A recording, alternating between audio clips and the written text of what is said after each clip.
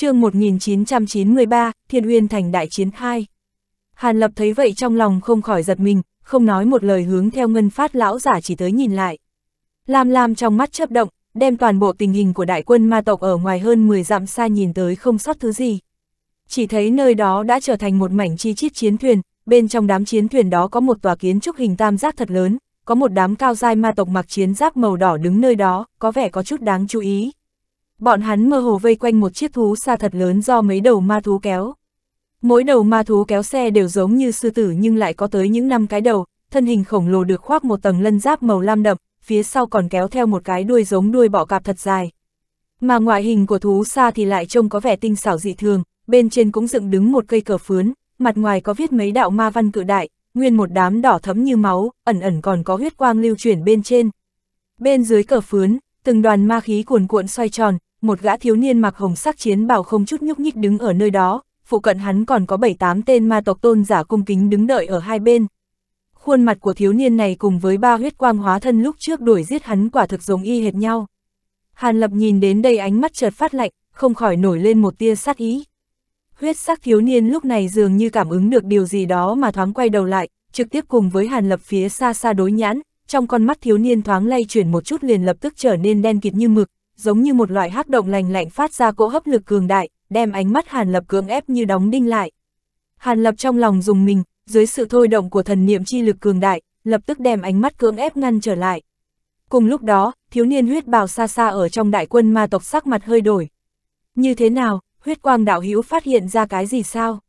Một đạo thanh âm đỉnh đạc bỗng nhiên từ một chỗ khác bên trên thú xa truyền lại, chủ nhân của thanh âm này lại là một gã đại hán da màu cổ đồng để trần nửa người, nửa người còn lại khoác một tấm da thú. Đây đúng là kẻ mà huyết quang thánh tổ xưng là đệ nhất ma tôn, đại hán họ hung. Giờ phút này song trưởng của hắn đang dựa vào một bên lan can thú xa, một bộ dáng vẻ lười biếng. Không có gì, chỉ là một gã tu sĩ nhân tộc lén rình trộm bọn ta mà thôi, đã bị ta dọa sợ thối lui rồi.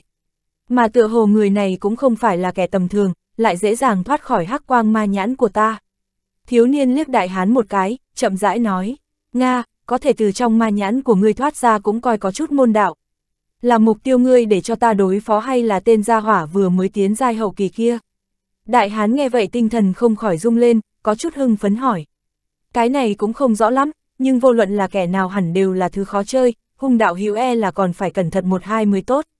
Huyết bào thiếu niên khẽ nhíu mày, có chút đề tỉnh, nói. Ha ha, ngươi cứ việc yên tâm, hung mỗ còn sợ đối thủ thần thông không đủ, không có cách nào tận hứng đánh một trận đây. Đại hán nghe vậy lại ha ha cuồng tiếu một trận, huyết bào thiếu niên cười khổ một tiếng, cũng không nói thêm điều gì nữa. Cùng lúc đó tại Thiên Uyên Thành, hai mắt Hàn Lập đang nhắm nghiền một hồi lâu, sau khi đem loại cảm giác mê muội kia khu trừ sạch sẽ, trong lòng có chút hít giật mình mà dương đôi mắt lên. Hàn đạo hữu người không sao chứ? Vừa rồi chẳng lẽ là, ngân phát lão giả mắt thấy Hàn Lập có hành động khác thường, không khỏi có chút lo lắng hỏi. Không có gì, vừa rồi chẳng qua là đối phương dùng bí thuật đánh trộm một cú, nhưng giờ đã không còn trở ngại gì rồi. Hàn Lập lắc lắc đầu, nhẹ nhàng đáp, không có việc gì là tốt rồi. Hàn Huynh đã xác nhận được người nọ thật đúng là hóa thân của huyết quang thánh tổ được hay chưa?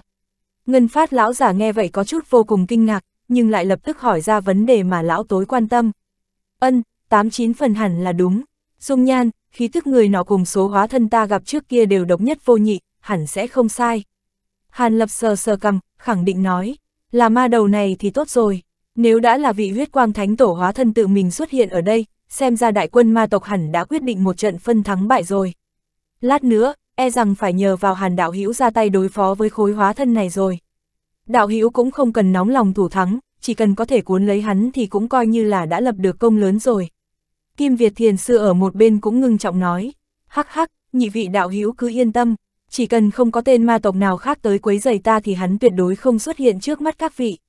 Hàn Lập mỉm cười, thập phần trấn an, nói, vậy phải làm phiền đạo hữu rồi, những ma tộc tôn giả khác bọn ta sẽ tận lực ngăn cản, sẽ không để cho bọn họ quấy giày Hàn Huynh. Ngân phát lão giả mừng rỡ, làm ra một bộ đảm bảo, nói. Hàn Lập gật gật đầu rồi không nói thêm gì khác nữa. Lúc này, những trưởng lão khác hoặc ít hoặc nhiều từng gặp qua hắn đều tiến lên dồn dập bắt chuyện với hắn. Bây giờ, đối diện với Hàn Lập, bọn họ hoặc ít hoặc nhiều so với trước đây đều khách khí hơn rất nhiều. Hiển nhiên, chỉ với cái danh đầu hậu kỳ tu sĩ của hắn cũng khiến cho đám trưởng lão này đối với Hàn Lập hắn thập phần kính nể rồi, cũng không dám tùy ý như trước đây nữa. Hàn Lập cùng những người này dĩ nhiên cũng không có thâm giao gì nhiều, cũng chỉ nhàn nhạt xã giao vài câu rồi cũng không cần phải nhiều lời thêm nữa. Đúng lúc này, đại quân ma tộc xa xa chợt oanh long long một tiếng, mơ hồ vô số chống trận tề minh. Theo đó, từ bên trong ma khí mênh mông như hải dương chạy ra một đám chi chít ma thú mặt mày dữ tợn. Những ma thú này chủng loại phải đến hàng trăm, hàng vạn, số lượng cũng đạt tới một mức kinh người. Trong đó có dã thú đầu châu thân người, cũng có quái cầm nhân diện bốn cánh sáu chân, lại có cả đám thạch ma cao tới trên trăm trượng. Như thủy triền cuồn cuộn kéo tới. Bỗng nhiên, từ trong quần thú lại bay ra hơn trăm đoàn hắc quang, mỗi một đoàn hắc quang hiển nhiên đều là một gã hóa hình ma thú nửa người nửa thú. Những đầu ma thú hóa hình này đã mở ra linh trí, quần thú nguyên bản có chút hỗn loạn, dưới sự chỉ huy của đám hóa hình ma thú này chỉ trong nháy mắt liền chỉnh chỉnh tề tề lại, ngoại trừ những tiếng giống trầm thấp thị uy ra thì không có những tiếng ồn nào khác nữa. Mà ngoại trừ những ma thú phổ thông này lại còn có thêm trên 1.000 đầu siêu cấp ma thú thân to như tòa núi nhỏ xen lẫn vào trong, bộ dáng trông có vẻ thập phần đáng chú ý. Đại quân ma thú vô cùng vô tận, quét mắt một lượt khó mà có thể thấy đầu cuối, cũng cứ từ từ trong ma hải không ngừng kéo ra, phảng phất sẽ không ngừng nghỉ. Hơn nửa thành viên trưởng lão hội sắc mặt theo đó mà đều trở nên cực kỳ khó coi. Thế nào mà lại nhiều ma thú đến vậy, không phải chỉ có 5-600 vạn con thôi sao? Lão giả họ cố sắc mặt trắng bệch, nói, căn cứ theo tình báo trước kia mà phán đoán, ma thú đích xác chỉ có trên dưới mấy trăm vạn con, số lượng ma thú này hẳn là lực lượng tiếp viện gần đây của bọn chúng. Kim Việt Thiền Sư có vẻ còn có chút chấn định, sau khi tự niệm một câu Phật hiệu liền giải thích hai câu. Ma thú tiếp viện như thế thì thật đúng là quá nhiều đi. Trận chiến này sợ rằng không dễ ứng đối rồi. Một gã hắc bào nam tử yêu tộc sắc mặt âm trầm, lẩm bẩm nói. Chư vị đạo hữu không cần kinh hoàng, đê giai ma thú dù sao cũng là đê giai tồn tại, cho dù số lượng có gấp đôi so với dự tính ban đầu thì cũng không nhất định sẽ ảnh hưởng tới toàn cục. Lão Phu lúc đầu vì để ngừa vạn nhất nên đã đem loại tình hình này tính vào trong đó, cũng sớm có thủ đoạn ứng đối tốt rồi. Ngân phát lão giả chậm rãi nói, nguyên lai cốc huynh đã có an bài khác, nếu là như thế thì bọn ta yên tâm rồi. Những hợp thể kỳ trưởng lão khác nghe vậy, thần sắc không khỏi có chút thả lòng, có người nói. Ngân phát lão giả mỉm cười, một tay liền lật chuyển, trong tay mơ hồ hiện ra một cái trận bàn, miệng hướng cái trận bàn ấy mà thấp giọng nói vài câu. Chốc lát công phu sau, phía trước tường thành bỗng nhiên xuất hiện một trận ba động kinh người, vài tòa pháp trận to lớn trước sau theo đó mà hiện ra. Tại trung tâm pháp trận lại huyền phù từng tòa tế đàn trắng như ngọc, mà trên những tế đàn này lại có cung phụng vài kiện đồ vật nhìn như bình thường. Một kiện ngọc bình xanh như nước biển, một cái hồ lô đen kịt như mực, còn có một thanh ngân sắc trường kiếm cùng một kiện có chút rông giống với một bức bình phong. Thiên Hà Tứ Bảo, Cốc Huynh, người lại đem mấy món bảo vật luyện chế dành lúc tối hậu lấy ra nhưng dùng lúc này không khỏi có chút quá giết gà dùng dao mổ trâu không. Một gã hợp thể kỳ yêu tu vừa nhìn thấy những kiện bảo vật ở trên đầu tường, trên mặt tràn đầy vẻ kinh hỉ cùng phức tạp, nói. Mấy bảo vật này uy năng cố nhiên vô cùng lớn, nhưng chính yếu còn là công kích phạm vi quảng đại, tối thích hợp sát thương đại quy mô. Bằng không, những bảo vật này dùng vào thời điểm phía sau mặc dù có thể thu được một vài kỳ hiệu nhưng thực tế dư uy cũng đại giảm. Về điểm này, Lão Phu cùng Kim Việt Thiền Sư đã thương lượng qua, cuối cùng quyết định là cầm tới đối phó những đê giai ma thú này. Thứ nhất, có thể tận lực sát thương đại lượng ma thú, thứ hai là có thể gia tăng sĩ khí của mọi người. Bằng không, nếu lúc đầu đã hao tổn đại lượng nhân thủ mà nói, đối với sĩ khí sẽ tạo thành tổn thương chí mạng. Nếu đại quân ma tộc ngay từ đầu đã phái ra đại quân ma thú như vậy, hẳn cũng tồn tại loại tâm tư này. Ngân phát lão giả nhàn nhạt giải thích vài câu, các hợp thể kỳ trưởng lão còn lại nghe vậy cũng thầm cảm thấy có đạo lý, cũng gật gật đầu không truy vấn thêm nữa.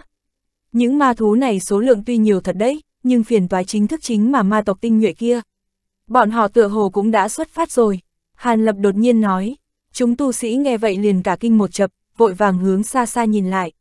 Chỉ thấy phía sau quần thú xa xa lại hiện ra thêm từng đội ma nhân mặc chiến giáp. Những ma nhân này hoặc cưới các loại thú, hoặc biến ảo thành từng cỗ hắc phong, từng cái diện mục giữ tợn cầm binh khí trong tay, cả người tản ra một cỗ khí tức hung tàn không một tiếng động theo sau quần thú đi tới. Nếu không phải Hàn Lập nhắc nhở thì một ít trưởng lão còn không để ý tới sự xuất hiện của bọn họ. Trong tiếng chống trận, sau một tiếng chuông cự đại bỗng nhiên từ bên trong ma hải vang ra, một chiến chiến thuyền cự đại, một tòa phi tháp hình tam giác khổng lồ cũng từ trong ma hải chậm rãi bay ra, phụ cận vây quanh dày đặc chi trí những chiến xa của ma tộc, số lượng căn bản không thể đo đếm được. Tại sao có thể như vậy, tên ma tộc thánh tổ này chẳng lẽ là kẻ điên, ngay từ đầu vậy mà đã xuất ra toàn bộ sức mạnh, lẽ nào hắn không định tái lưu lại thủ đoạn gì sao sao?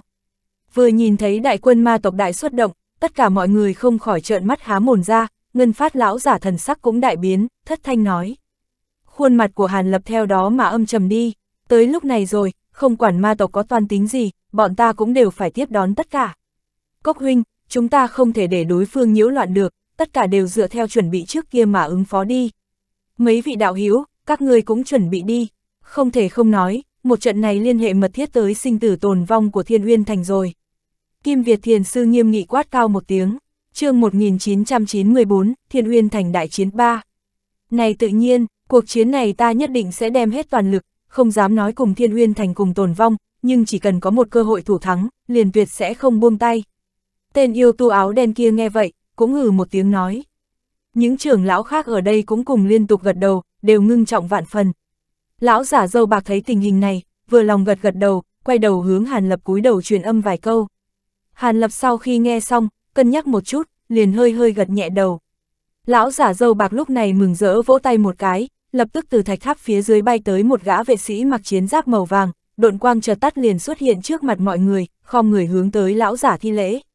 Người lập tức dẫn đường cho Hàn Đạo Hiếu, cứ dựa theo an bài ban đầu mà đi làm, không được có chút sai lầm nào. Lão giả uy nghiêm phân phó một tiếng, tuân mệnh, Hàn tiền bối, mời ngài theo vãn bối lại đây một chút.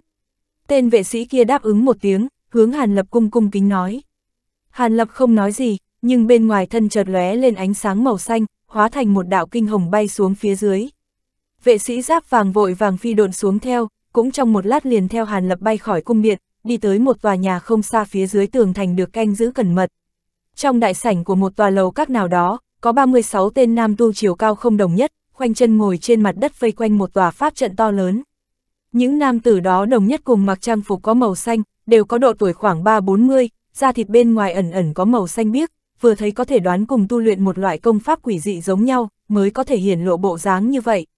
Bất quá những nam tử này tu vi cũng không tính cao lắm, đều là hóa thần kỳ cảnh giới mà thôi. Hàn lập thần niệm hướng trên người bọn họ đảo qua, theo bản năng mày nhíu lại. Bọn họ hơi thở phi thường yếu ớt, rõ ràng cảnh giới trước mắt đều không phải là khổ tu mà có, mà là vận dụng loại thủ đoạn nào đó mạnh mẽ tăng được tu vi lên đến vậy. Bái kiến tiền bối, vừa thấy Hàn Lập cùng tên kim vệ luyện hư kỳ đi vào, những tu sĩ đó đều đứng dậy tiến lên chào, thần sắc trong trẻo nhưng có chút lạnh lùng. Vị này là Hàn tiền bối, lúc này đang đại chiến các người phụ tá người. Từ nay về sau mọi hành động, đều nhất định phải phối hợp cùng Hàn tiền bối mới được. Các ngươi lại đây bái kiến một chút, tên kim vệ kia nghiêm nghị nói.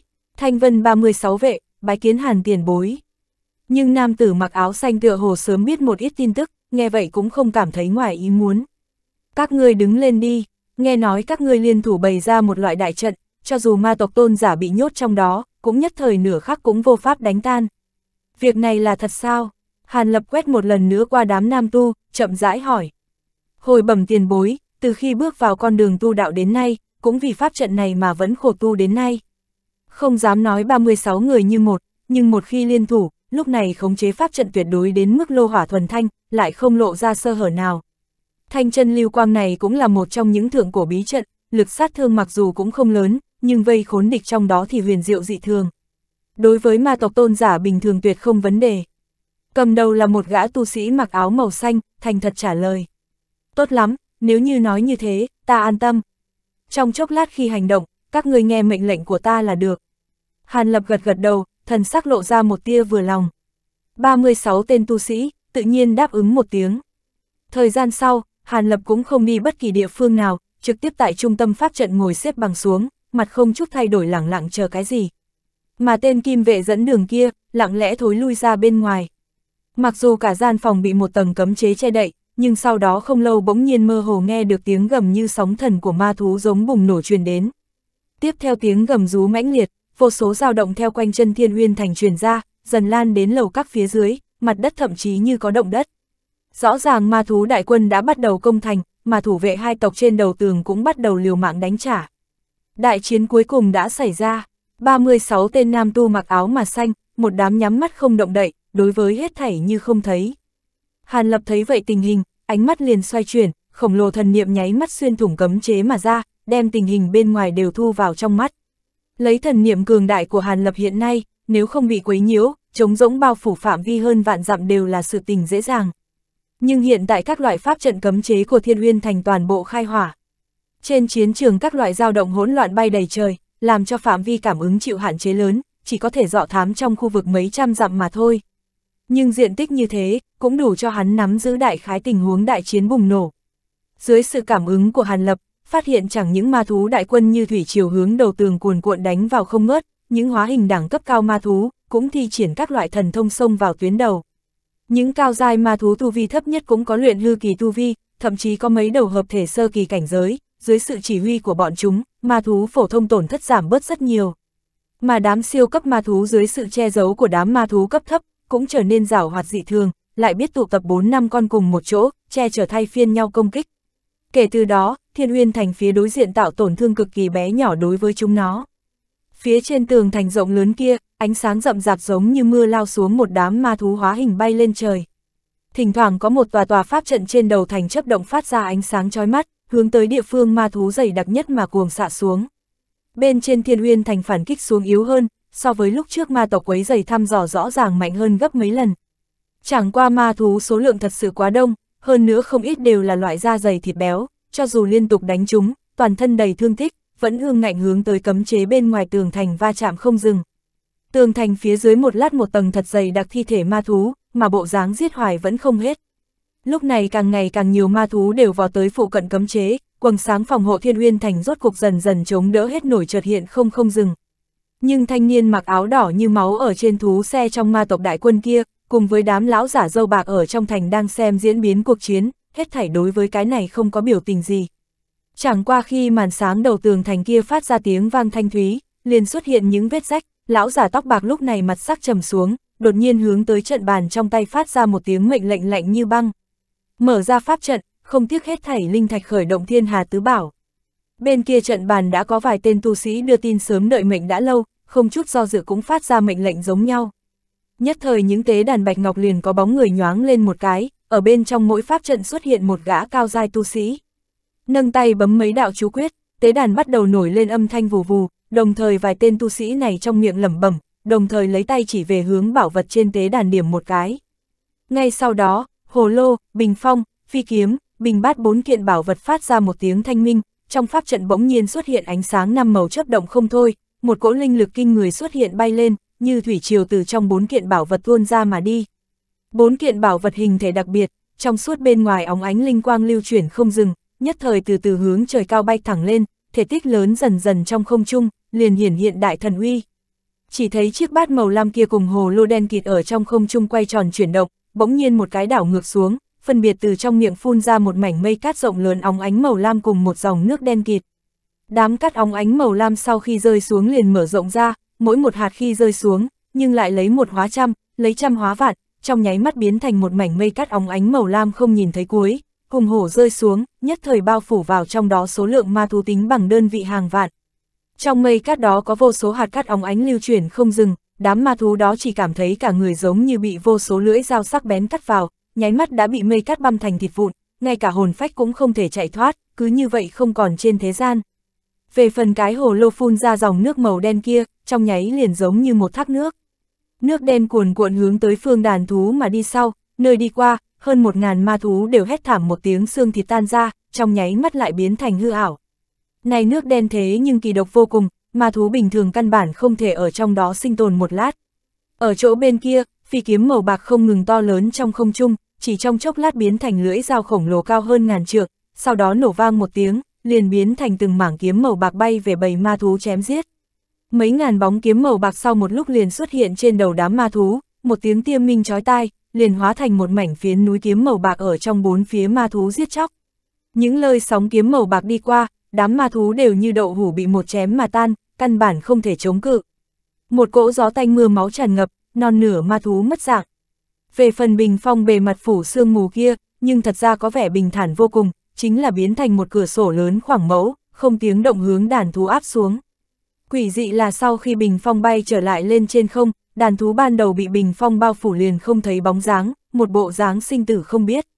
Bình phong đánh thẳng về phía đàn thú phía trước ngay cả vài con có tránh được, vẫn có mấy ngàn ma thú bị bạch quang cuốn vào mất dạng. Đám ma thú phụ cận liền tránh tới tránh lui trốn vào chỗ trống, không dám ở lại phụ cận. Hôm nay thiên hà tứ bảo vừa xuất hiện trong một thời gian ngắn, có hơn 10 vạn ma thú bị ngạnh sinh sinh diệt sát không còn, uy lực to lớn quả thực làm cho người ta trợn mắt há hốc mồm. Nhưng khi bảo vật này xuất hiện, cũng làm cho ma tộc cao tầng không thể đứng yên. Lúc này sau mấy tiếng thét dài thê lương, một đoàn mây đen, một cỗ gió độc màu đỏ, cùng với hai đạo màu đỏ chợt lóe lướt qua theo phía sau ma thú bay lên không, bay thẳng đến chỗ bốn kiện bảo vật tàn sát bừa bãi kia. Hàn Lập xem đến đây, mặt sắc vừa động, liền đem thần thức thu trở về. Tình huống còn lại, căn bản hắn không cần tiêu hao thần niệm xem xem nữa.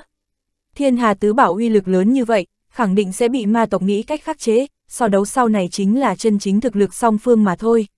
Ngay từ đầu, song phương cao tầng khẳng định sẽ không lập tức giao thủ, hơn phân nửa phải chờ tới đám ma thú cùng cấm chế Thiên Uyên Thành hoàn toàn bị phá hủy biến mất, mới sẽ xuất hiện chân chính cao giai đại chiến. Trong lúc này, hắn chỉ cần nghỉ ngơi dưỡng sức chờ đợi. Đến lúc chống lại hóa thân huyết quang thánh tổ kia, nhất định không cho hắn còn sống rời khỏi nơi đây, Hàn Lập trong lòng lạnh lùng cân nhắc. chương 1995, Thiên Uyên Đại Chiến 4 Thời gian dần qua đi, trong đại sảnh giao động lắc lư rất nhỏ Thủy Trung chưa dừng lại. Hiển nhiên chiến đấu một mực kịch liệt dị thường, thỉnh thoảng còn có vài tiếng nổ kinh thiên động địa từ bên ngoài trực tiếp xuyên thủng cấm chế mà vào trong đại sảnh quanh quẩn không thôi. Nhưng bất luận đối với Hàn Lập hay những thanh bảo vệ sĩ kia, vẫn một đám cúi đầu mắt nhìn xuống dưới, không động đậy mảy may. Trải qua ba canh giờ, chấn động trong đại sảnh rốt cục kết một tiếng liền dừng lại, nhưng thay vào đó một cỗ chấn động kinh người liền xuất hiện âm thanh bạo liệt cuồn cuồn xuất hiện. Những cỗ chấn động này không phải ma thú cấp thấp có khả năng phát ra, song phương đẳng cấp cao tồn tại đã xuất thủ. Mà theo trình độ nổ chấn động bộc phát dày đặc cơ hồ vang vọng toàn bộ chiến trường mà xem, ma tộc tựa hồ thoáng một lần đem lực lượng tinh nhuệ toàn bộ dồn lên, nếu không đại chiến sẽ không kịch liệt như thế. Hàn Lập trong lòng yên lặng đánh giá, ngồi bất động trong pháp trận mặt không biểu tình. Đột nhiên một tiếng tiêm minh chói tai từ bên ngoài xé rách cấm chế, trực tiếp truyền vào trong đại sảnh, làm cho hai lỗ tai Hàn Lập đều ẩn ẩn có chút đau đớn. Không tốt, Hàn Lập trong nội tâm thầm kêu một tiếng, không lưỡng lự đột nhiên phất tay áo, một màn ánh sáng tối tăm mờ mịt xuất hiện, hóa thành một màn ánh sáng đem đại sảnh bao phủ toàn bộ, sau đó hai mắt lóe lên hướng tới 36 tên nam tu mặc áo xanh nhìn lại. Chỉ thấy những tên tu sĩ này nguyên một đám hai tay ôm đầu phát ra tiếng rên rỉ thống khổ, hai lỗ tai ẩn ẩn có chút máu chảy ra. Hàn lập nhướng mày, trong mũi bỗng nhiên phát ra một tiếng hử lạnh. Tiếng hử lạnh nhìn như băng hàn rét thấu xương, nhưng vừa vào trong tai những tu sĩ này, lại giống như cam lộ, vẻ thống khổ lập tức giảm đi hơn phân nửa, nhao nhao một lần nữa ngồi xếp bằng bắt đầu điều tức. Sau thời gian một bữa cơm, những tu sĩ này mới ổn định được thân thể không khỏe, sắc mặt khôi phục hơn phân nửa. Đa tạ tiền bối xuất thủ cứu giúp, cầm đầu tu sĩ mặt hiện cảm kích hướng Hàn Lập thi lễ. Không có gì, có ta ở nơi đây, tự nhiên sẽ không để cho các ngươi có gì tổn thương. Bất quá chỉ dựa vào tiếng kêu có uy năng lớn như vậy, xem ra hẳn là ma tộc tôn giả cũng xuất thủ. Các ngươi ở lại nơi đây thời gian sẽ không được lâu đâu, tranh thủ khôi phục lại nguyên khí đi. Hàn Lập nhàn nhạt nói một câu, vâng, bọn người vãn bối nhất định mau chóng điều chỉnh tốt nguyên khí, tuyệt sẽ không vướng chân tiền bối. Tên kia nam tu trong lòng dùng mình, đáp ứng một tiếng về sau, vội vàng lần nữa nhắm mắt bắt đầu vận công. Hàn Lập đăm chiêu suy nghĩ một nấc, thần niệm khẽ động, lại lần nữa xuyên thủng cấm chế hướng ra phía ngoài mà tìm tòi. Mà phụ cận quanh thành lúc này, sớm đã không thấy bóng dáng thiên hà tứ bảo, về phần mấy ngàn vạn ma thú đại quân kia, thì 10 phần thì mất 9, chỉ còn lại phần lớn ma thú đẳng cấp cao tồn tại, mà nguyên một đám thân thể đầy thương tích. Về phần những siêu cấp ma thú không biết bị nhân, yêu hai tộc vận dụng loại bảo vật nào diệt sát gần như không còn, chỉ có 7-8 con còn sống trên chiến trường, nguyên một đám khí tức suy yếu cực kỳ, bộ dạng không phát huy được quá nhiều tác dụng. Tại Thiên Uyên thành bên dưới tường thành cao lớn, chi chít dày đặc ma tộc mặc giáp, bộ dáng cũng chừng 7-800 vạn, nhưng quỷ dị chính là ngoài nguyên anh ma tộc có thể bay lên không phi ra bên ngoài, những tên ma tộc còn lại chỉ có thể ở trên mặt đất chạy như điên mà thôi. Bên trong thiên uyên thành một chỗ bí địa đề phòng nghiêm mật nào đó, hơn một ngàn tòa pháp trận loại nhỏ tạo thành một cái siêu cấp đại trận khoảng vạn mẫu đang bị kích phát mà lên, từ đó phát ra một cổ vô hình cấm chế, đem thiên uyên thành cùng với khu vực phụ cận mảng lớn đều bao phủ vào trong. Cái này đúng là một cái cấm chế cấm bay lớn vô cùng, nhưng cùng bình thường cấm chế cấm bay bất đồng chính là, cấm chế này tự hồ chỉ đối với ma tộc một phương hữu hiệu, phía bên nhân tộc vô luận tu vị cao thấp, có thể bay lượn thoải mái. Bất quá ma tộc vô luận số lượng hay là thực lực đều hơn xa lực sĩ cùng tu sĩ thủ thành, mặc dù dưới tình hình bất lợi như vậy, vẫn như thủy triều công lên trên đầu thành, cũng trở thành một mảnh hỗn chiến.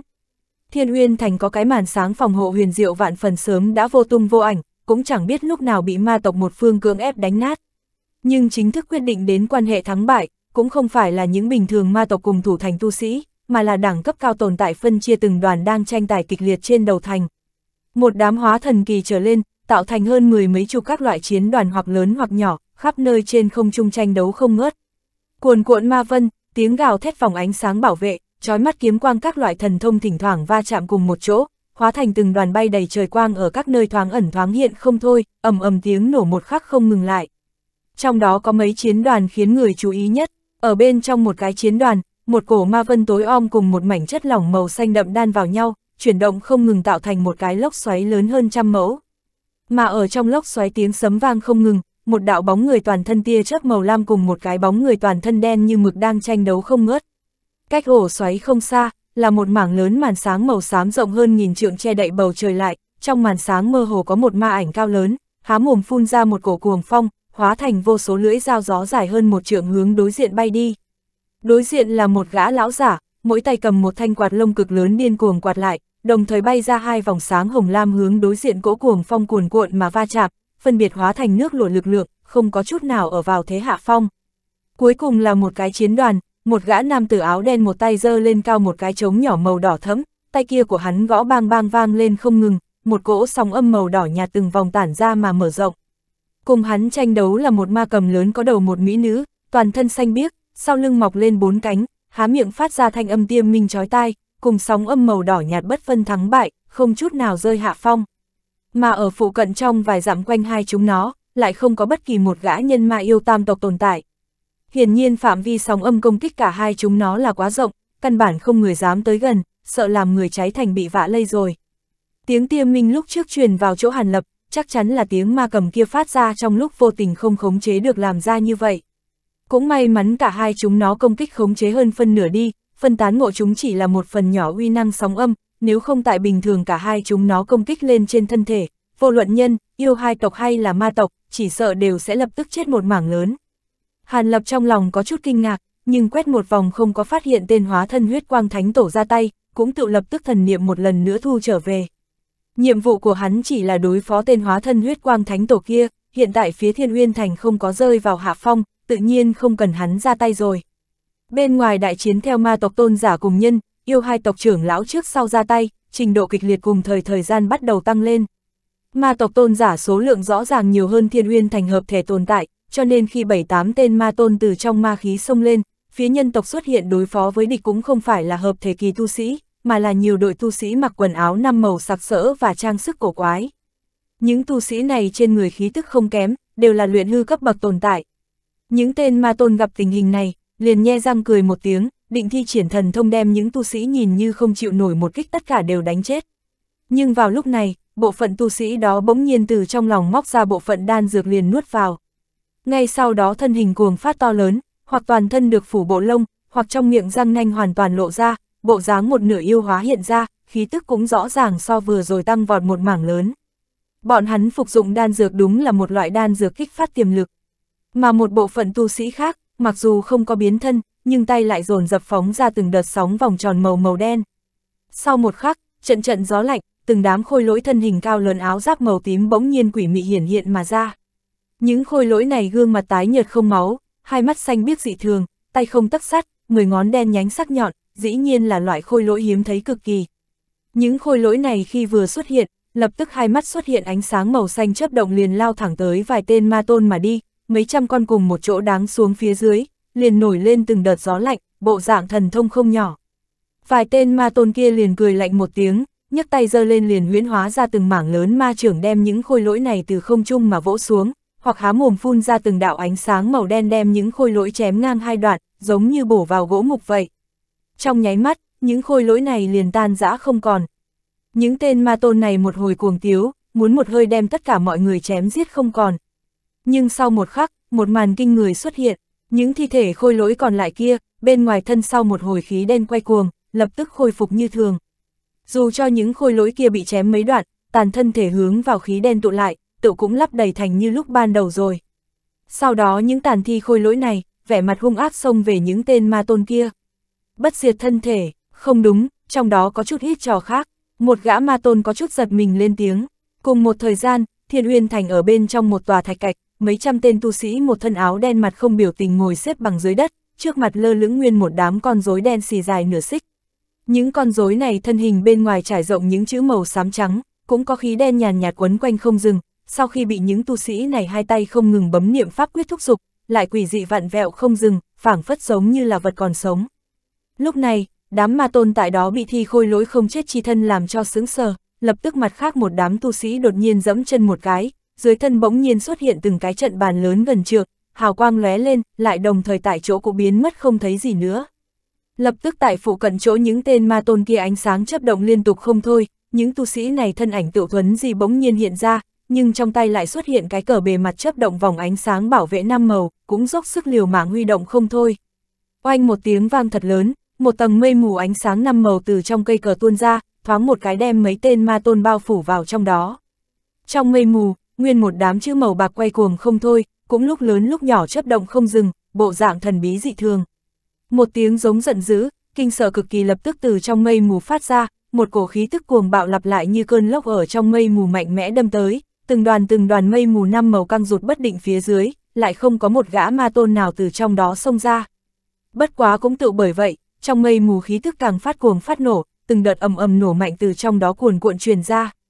Vào lúc này, những tên yêu tu đã nửa yêu hóa kia, lại tại một người cầm đầu gầm nhẹ một tiếng, dồn dập móc ra lần lượt từng cái phủ triện màu vàng bạc dán lên trên người, thân hình nguyên một đám mơ hồ không thấy rõ, tiếp theo hóa thành từng đoàn gió yêu ma xuông vào trong mây mù. Lập tức trong mây mù phát ra tiếng oanh minh, thoáng một phát so lúc trước còn lớn hơn vài phần, những yêu tu kia cũng lập tức cùng những tên ma tôn đan vào cùng một chỗ, không ai nhường ai, cũng không có rơi vào thế hạ phong. chương 1996, Thiên Uyên Đại Chiến năm Mấy trăm danh tu sĩ dưới sự trợ giúp của khôi lối cùng pháp trận, nhất thời đem bảy tám tên ma tộc tôn giả gắt gao vây tại chỗ. Không riêng gì như thế, Thiên Uyên Thành sau một trận quang mang chớp động liền có hơn trăm tòa thạch tháp cao mấy nghìn trượng từ dưới đất mọc lên, sau một trận ầm vang liền hướng thẳng đại quân ma tộc bay tới. Nhất thời, những chiến thuyền cự đại của đại quân ma tộc cùng tam giác ma tháp huyền phù tại hâu phương ma tộc tự nhiên cũng không chút khách khí nghênh đón bay tới, cũng sau một trận ông minh từ khoảng cách xa phóng xuất ra vô số hắc sắc quang trụ. Những phi tháp của Thiên Uyên thành mặt ngoài tỏa ra một tầng ngũ sắc linh quang lưu chuyển đem tất cả số quang trụ kia ngăn lại toàn bộ, cũng một hơi tiếp cận với chiến thuyền của ma tộc. Lúc này, trong mỗi cái tháp, mỗi một tầng phòng hộ đều mở ra, vô số khôi lỗi giáp sĩ cùng đủ loại linh thú từ đó bay ra, giống như châu chấu tràn tới đám chiến thuyền của ma tộc. Đám cự thuyền cùng tam giác cự tháp hiển nhiên cũng có đại lượng ma tộc lưu thủ, sau trận trận quái minh, đồng dạng cũng thả ra một đám ma tộc giáp sĩ cùng ma cầm đông nghịt nghịt. Trong lúc nhất thời, lưu mang hắc khí phô thiên cái địa, hư không lại bộc phát ra một trận huyết vũ tinh phong. Hàn Lập đem thần niệm thu hồi trở lại, hắn đối với loại tràng diện đại chiến này tự nhiên không hề quan tâm tới, chỉ một bộ ngồi tại trung tâm pháp trận lẳng lặng chờ đợi. Hắn biết rõ, đại chiến nếu đã đạt tới tình trạng như vậy, tùy thời đều có khả năng hắn và đồng bọn phải xuất động rồi. Quả nhiên, không quá nửa canh giờ sau, pháp trận cực lớn dưới thân đột nhiên ong ong vang lớn, mỗi một danh tu sĩ bên dưới thân đều tự xuất ra một tầng vân vụ quang điểm, đem thân hình nhấn chìm vào trong. Những tu sĩ này đầu tiên là cả kinh nhưng theo đó lại dồn dập từ trong người móc ra một khỏa tam sắc ngọc bài, cũng vội vàng thôi động lên. Đủ mọi loại màu sắc linh quang theo những khối ngọc bài hiện ra, cũng biến ảo thành từng cái phù văn màu tím bay vòng vòng vây quanh chúng tu sĩ. Hàn Lập thấy cảnh này trong lòng khẽ động, nhưng chưa chờ hắn có hành động gì thì pháp trận chợt phóng suốt bạch quang, rồi bạch quang lại chợt cuồng trướng lên gấp mấy lần, cũng phát ra một tiếng thanh minh thật dài. Hàn Lập chỉ cảm thấy hai mắt hoa lên, cả người trong nháy mắt liền bị truyền tống đi. Chốc lát sau, sau khi thanh âm thanh minh quàng quạc của pháp trận dừng lại, bạch quang theo đó cũng vụt tắt đi, 36 danh tu sĩ cùng Hàn Lập đều biến mất khỏi pháp trận. Cùng lúc đó, tại một phiến thiên không nơi nào đó trong chiến trường, một tòa quang trận thật lớn bỗng nhiên hiện ra, linh quang chợt lóe, 36 danh tu sĩ cùng Hàn Lập thoáng hiện ra. Vị trí những nam tu sĩ kia tựa hồ đã trải qua tỉ mỉ an bài, nhìn như đông một người, tây một người nhưng trên thực tế lại hình thành một cái trận pháp huyền diệu cực kỳ, vừa lúc đem Hàn Lập và bốn kẻ khác cùng vây vào trong. Mà Hàn Lập vừa lúc hiện thân ra thì ngoài thân hắn hắc khí quay cuồng một trận, một kiện hắc sắc chiến giáp quỷ dị hiện ra trên thân thể, đồng thời điểm điểm thanh quang chợt lóe, 72 khẩu tiểu kiếm xanh biếc cũng từ thể nội nhanh chóng phóng xuất ra, cũng hóa thành một đóa kiếm liên xanh biếc liên tục chuyển động dưới thân. Lúc này hắn mới ngưng trọng ngẩng đầu hướng bốn gã còn lại nhìn tới. Trong đó, hai người chính là Ngân Phát lão giả cùng Kim Việt Thiền Sư, bất quá hai người này ngay cả có được vài kiện bảo vật hộ thân nhưng sắc mặt lại tái nhợt dị thường, một người trên thân còn có vết máu loang lổ, dường như đã ăn phải thiệt thòi không nhỏ. Đặc biệt là ngân phát lão giả kia, không chỉ trước ngực và vạt áo đều bị nghiền nát mở tung ra mà ngay cả một cánh tay cũng đã không thấy đâu rồi. Mà đứng đối diện với hai người lại là một gã huyết bào thiếu niên cùng một nam tử mặc tạp dề thú ra, trần trụi nửa thân cổ đồng lẳng lặng đứng. Nam tử này một tay cầm một kiện lang nha bổng chớp động hỏa diễm xanh biếc, một tay lại cầm một cánh tay cụt máu chảy đầm đìa mặt đầy dữ tợn, tựa hồ cánh tay kia chính là một tay của lão giả bị cường ngạnh giật đứt ra.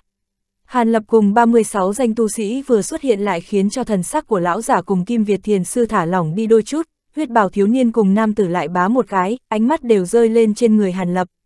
Chờ hai người nhìn rõ dung mạo của Hàn Lập hắn thì ánh mắt của tên thiếu niên kia lập tức hiện lên vẻ oán độc sâu nặng, mà nam tử còn lại thì khẽ nhíu mày, trong mắt ẩn ẩn hiện lên một tia hung quang. Hợp thể hậu kỳ, không, tu vi so với tồn tại hậu kỳ bình thường còn hùng hậu hơn nhiều. Huyết quang đạo hiếu, người này chính là mục tiêu ngươi muốn ta đối phó sao. Bất quá, cùng người ngươi nói tu vi cảnh giới dường như không cùng một dạng. Nam tử sắc mặt trầm xuống, quay đầu hướng thiếu niên hỏi một câu. Đích thật là tên tiểu tử họ hàn kia nhưng tu vi trước kia của hắn chỉ có trung kỳ cảnh giới A. Nga, bản tọa minh bạch rồi, nguyên lai thiên tượng tiến giai vài ngày trước chính là do tiểu tử này gây ra. Hung huynh cứ yên tâm, hắn bất quá cũng chỉ là mới tiến giai mà thôi, cảnh giới hẳn là chưa có thể củng cố tốt được, người mà đối phó với hắn trái lại càng thêm dễ dàng không ít. Huyết bào thiếu niên sau khi đảo thần niệm qua người Hàn Lập một cái, đầu tiên là lộ ra vẻ giật mình nhưng sau khi hơi trầm ngâm một lát liền lộ ra vẻ bừng tỉnh, nói. Tiến giai hậu kỳ cảnh giới cũng là người này, ngươi không tính sai chứ, nếu là đối phương còn thêm hậu kỳ tồn tại thì phiền toái sẽ rất lớn a. Nam tử họ hung hung quang trên mặt chợt khởi, nhìn Hàn Lập cười gần, nói. Nếu như còn có hậu kỳ tu sĩ tự nhiên cũng không cần hung huynh quan tâm cái gì, bổn tọa tự nhiên sẽ trực tiếp tiếp đón hắn. Ngươi chỉ cần đem tên tiểu tử họ Hàn này bắt lại cấp cho ta là được rồi, sự tình khác không cần ngươi quan tâm. Huyết bào thiếu niên lạnh lùng nói, hắc hắc, nếu huyết quang đạo hữu đã nói như thế thì hung mỗ không còn cái gì để nói rồi. Tên nhân tộc tiểu tử này cứ giao cho ta ta là được. Bất quá, không cần ta phải để tỉnh ngươi chứ. Trước mắt, không cần biết đối phương còn hậu thủ gì sau nhưng pháp trận trước mắt tựa hồ cũng khiến huyết quang đạo hữu ngươi hảo hảo bận rộn một phen rồi. Trong mắt nam tử họ hung xoay chuyển một cái, bộ dáng như chẳng hề để mọi sự trong mắt, nói. Nam tử này nói tới pháp trận tự nhiên là pháp trận do 36 danh tu sĩ vừa mới hiện kia phát động ngọc bài trong tay huyễn hóa ra tầng tầng lục quang tạo thành. Cái tầng quang cháo này không chỉ đem thân hình bọn họ che lấp mà thiên không vài dặm phụ cận đều bao phủ vào bên trong, mặt ngoài tầng quang cháo mơ hồ có vô số ngân sắc phủ văn bay lượn bất định, phảng phất như có huyền diệu trong đó. Chính là một đám hóa thần kỳ tu sĩ bố trí pháp trận lâm thời sao. Có thể làm khó được ta sao? Huyết quang hóa thân hướng quang cháo nhìn lướt qua, thần sắc lộ ra một tia khinh thường, nói. Pháp trận này cùng tiểu tử nọ tựa hồ phân nửa là đối phó ngươi, há có thể đơn giản sao? Nam tử họ hung lắc lắc đầu, trên mặt lộ ra một tia quỷ dị, nói. Úp, ta quên mất hung huynh trên trận pháp chi đạo cũng có thành tựu, lẽ nào nhìn ra được cái gì sao? Huyết quang hóa thân thần sắc có chút nao nao ngoài ý muốn, hỏi một câu. Điểm ấy thời gian ta sao có thể nhìn ra được điều gì chứ? Chỉ là pháp trận này tựa hồ cùng với không gian cấm chế có chút quan hệ. Nam tử sau khi đánh giá pháp trận một chút liền ha hả nói. Không gian cấm chế, cái này quả thực có chút vướng tay. Đa tạ hung huynh đã nhắc nhở, về sau ta chắc chắn sẽ có trọng tạ. Huyết quang hóa thân sắc mặt thoáng trở nên âm lệ, cảm ơn một tiếng. Ngay trong lúc hai người này nói chuyện với nhau thì Hàn Lập cũng hướng ngân phát lão giả, nhíu mày nói. Cốc huynh, đây là chuyện gì vậy? Hai người sao lại có mặt tại đây mà bộ dáng lại chật vật như vậy? Trong pháp trận bây giờ sao lại có thêm một gã ma tôn hậu kỳ? Hàn Lập vừa đưa ánh mắt nhìn tới tên nam tử kia, trong nháy mắt liền cảm thấy lông tóc ngoài da thịt ngoài thân ẩn ẩn có chút dựng ngược lên, sự cảnh giác theo đó mà đề thăng tới cực hạn nhưng trên mặt lại không lộ ra chút biểu tình nào. Hàn huynh, sự tình tựa hồ có chút phiền phức, tên ma tôn hậu kỳ này cũng không biết từ nơi nào chui ra, trong tình báo trước kia không có nhắc tới chút nào. Ta cùng Kim Đạo Hữu thấy hắn cùng hóa thân thánh tổ đứng cùng một chỗ, nguyên bản nghĩ cách đem bọn họ tách ra liền lập tức triệu hoán Đạo Hữu tới nơi đây. Nhưng trăm triệu lần không nghĩ tới thần thông của hắn thực sự quá mức lợi hại, chỉ một thoáng giao thủ mà bức Kim Đạo Hữu tới trọng thương, rồi lại xé đứt một cánh tay của ta. Lão Phu tuy rằng kiến thức không cạn nhưng cũng chẳng bao giờ nghĩ tới trong hậu kỳ tồn tại lại có loại quái vật như vậy, quả thực. Ngân phát lão giả cười khổ một tiếng, trên mặt hiện ra vẻ kinh sợ, nói. Quả thực chính là nửa bước đại thừa rồi. Hàn huynh, ngươi cần phải cẩn thận hơn rồi. người này sợ rằng so với hóa thân thánh tổ kia còn khó đối phó hơn nhiều. Nhưng bây giờ bên ta cũng đã hết thảy chuẩn bị xuất ra rồi, cũng đã phái mấy trưởng lão trường kỳ bế quan trong thành cùng sứ giả thành đảo phái tới xuất thủ rồi, hai gã ma đầu này cũng chỉ có ba người chúng ta đối phó mà thôi. Chúng ta nếu như bại, để hai ma đầu này tung hoành trong đại quân, trận này tự nhiên đã bại rồi. Kim Việt Thiền Sư không chờ lão giả nói xong liền lo lắng chen lời, nói. Khổ tu chi sĩ cùng sứ giả thánh đảo, ánh mắt Hàn Lập xoay chuyển, quả nhiên trong một vài chiến đoàn xa xa phát hiện ra năm sáu luồng khí tức xa lạ, cũng đang cùng mấy tên hóa thân thành ba đầu sáu tay trong ma vân đánh tới bất phân thắng bại. Cổ ma, Hàn Lập vừa nhìn rõ bộ dáng những ma vật kia liền biến sắc thốt ra. Những ma tộc kia xác thực là ma loại huyết thống tối thuần khiết, trong ma giới chân chính chính là nguyên thủy cổ ma tộc. Đám cổ ma này so với tồn tại đồng giai mà nói, thực lực cao hơn những tên ma tộc tôn giả khác một bực. Nếu không phải đột nhiên xuất hiện những ma vật đáng sợ như vậy, hai người bọn ta cũng không phải sớm triệu hoán hàn đạo hữu ra rồi. Sắc mặt ngân phát lão giả âm trầm nhắc nhở một câu. Ý tứ của đạo hữu là, để cho ta đối phó với tên ma tôn hậu kỳ này, nhưng hóa thân thánh tổ kia. Dị sắc trên mặt hàn lập vụt tắt đi, hơi trầm ngâm, hỏi. Hai người bọn ta tự vấn còn có một ít thủ đoạn có thể dùng, huống hồ bây giờ còn có không gian pháp trận này phụ trợ, tính ra nếu không địch lại huyết quang hóa thân này nhưng cuốn lấy một đoạn thời gian tự nhiên có thể làm được. Hàn huynh cứ việc toàn tâm đối phó với tên ma tôn hậu kỳ kia đi. Ngân phát lão giả cùng Kim Việt Thiền sư liếc mắt nhìn nhau, cắn răng nói. Hàn lập nghe xong lời lam mang trong mắt chợt lóe, lại lần nữa quét về phía nam tử họ hung kia. Kết quả, nam tử họ hung kia đồng dạng quay đầu lại, bốn mắt nhất thời đối nhau một cái. Nam tử họ hung một cái chớp mắt cũng không nhưng mà vẻ hưng phấn cùng hung sắc trên mặt lại dần dần dày đặc lên, còn người mơ hồ có ngân mang nhẹ nhẹ chớp động không thôi. Bỗng nhiên, thân hình hắn khẽ động, cả người không chút dấu hiệu ở trung tâm quang cháo không nói hai lời cầm cánh tay lão giả hướng lên không trung ném đi, lại dùng lang nha bổng bên tay kia hư không đánh ra một kích. Sau một tiếng oanh vang động, cái tàn thủ kia nhất thời hóa thành một cỗ huyết vũ tàn mát rơi xuống, đem nửa người trần của hắn tưới lên, một cỗ huyết tinh chi khí theo đó mà ngập tràn trong quang cháo. chương 1997, thất diễm phiến cùng đồng tâm hoàn. Càng quỷ dị chính là, những máu huyết này rơi xuống ra thịt tên nam tử họ hung kia trong nháy mắt liền mờ nhạt đi rồi hóa thành những đạo huyết văn đỏ tươi như máu, cũng trải rộng ra toàn thân. Từ xa nhìn lại, nam tử họ hung dường như đã khoác lên mình thêm một loại huyết sắc phù y, trông quỷ dị cực kỳ. Ngân phát lão giả thấy cảnh này sắc mặt thoáng cái trở nên thập phần khó coi nhưng nam tử họ hung kia trái lại căn bản không thèm nhìn tới lão. Sau một tiếng cười, một tay hắn lại hướng Hàn Lập làm ra một cái thủ thế khiêu khích, bộ dáng trông hung hăng cực kỳ. Hàn Lập thấy cảnh này tự nhiên rõ ràng sắp sẽ cùng hắn đánh một trận, căn bản là tránh cũng không thể tránh được rồi, lúc này nhàn nhạt hướng hai người Kim Việt Thiền Sư nói. Cứ theo như hai người nói đi, người này giao cho ta, nhưng trước khi giải quyết ma đầu này, các người phải đem huyết quang hóa thân dẫn ra xa xa một chút, ta không muốn trong lúc tranh đấu gặp phải nhân tố không thể dự liệu. Vừa dứt lời, hắn cũng không chờ hai người nói cái gì cả, kiếm liên xanh mướt ở phụ cận quay tròn một cái, thân hình bỗng nhiên ở trong kiếm quang sắc bén biến mất không thấy. Trong khoảnh khắc, trước người nam tử họ hung tầm vài chục trượng thanh quang chợt lóe, Hàn Lập mặt không biểu tình từ hư không bước ra. Nam tử kia mặt lóe hung quang cầm lang nha bổng trong tay không nói hai lời hướng Hàn Lập xông tới, cũng từ xa hư không đánh ra một kích. Phốc suy một tiếng, ma hỏa xanh biếc trên lang nha bổng hóa thành một cơn lốc, trong nháy mắt liền như thiên thạch hóa thành một bức tường lửa phô thiên cái địa hướng Hàn Lập hùng hổ áp tới, mà năm ngón tay của hắn lại nắm chặt lại, hời hợt hướng Hàn Lập hư không đánh ra một kích. Không một tiếng động, giống như một chút lực lượng cũng không có. Hàn Lập thấy cảnh này sắc mặt lại trầm xuống, kiếm liên màu xanh trước thân chợt vang lên từng tiếng kiếm ngân trong trẻo rồi huyễn hóa ra tầng tầng thanh sắc kiếm ảnh, cũng hướng tầng lửa nghênh đón, đồng thời trong một ống tay áo kim mang chợt lóe, một cánh tay cũng đảo ra đánh tới. Quyền đầu kim quang lòe lòe, phảng phất như được chú tạo từ vàng ròng, cũng ẩn ẩn có kim văn du tẩu nhàn nhạt bất định, đây chính là dấu hiệu Phạm Thánh chân ma công tiếp cận đại thành biểu hiện ra. Kiếm ảnh xanh biếc cùng tầng lửa trong nháy mắt vừa tiếp xúc liền lập tức đùng đoan loạn hưởng một trận, thanh quang lục hỏa đan vào nhau, quang diễm bao quanh giữa hai người theo đó mà bạo liệt không ngừng, phảng phất như có vô số khó lửa đồng thời bạo liệt ra, tràng cảnh diễm lệ cực kỳ. Phụ cận tường lửa, hư không một bên đột bỗng nhiên nổ một tiếng long trời lở đất. Một cỗ xương mù lục sắc kình phong cùng một đoàn kim sắc quyền ảnh không chút dấu hiệu nào thoáng hiện ra, cũng hung hăng va chạm với nhau một chỗ, hình thành một cơn lốc xoáy bắn thẳng lên tận trời cao, cũng hướng bốn phương tám hướng oanh long long cuồng quyển tới. Nơi cuồng phong đi qua, hư không vì đó mà run rẩy không ngừng, thiên địa cũng vì đó mà biến sắc. Về phần Hàn Lập cùng nam tử ma tộc kia cả hai đều cảm thấy thân hình chấn động, không tự chủ được mà từng người chân đạp hư không lùi về sau mấy bước. Nam tử kia thấy vậy cũng không sợ hãi chút nào mà thần sắc ngược lại còn lộ ra vẻ hưng phấn, miệng hét lớn một tiếng, trong tích tắc đem lang nha bổng trong tay hướng không trung ném đi, đồng thời hai tay nhanh chóng bấm quyết niệm chú, cũng hướng không trung điểm ra một cái. Phanh một tiếng, lục sắc hỏa diễm vây quanh lang nha bổng kia theo đó đột nhiên tăng vọt mấy lần, tái ngưng tụ thành tám đầu hỏa dao xanh biếc, cũng dương nhanh múa vuốt hướng đối diện đánh tới.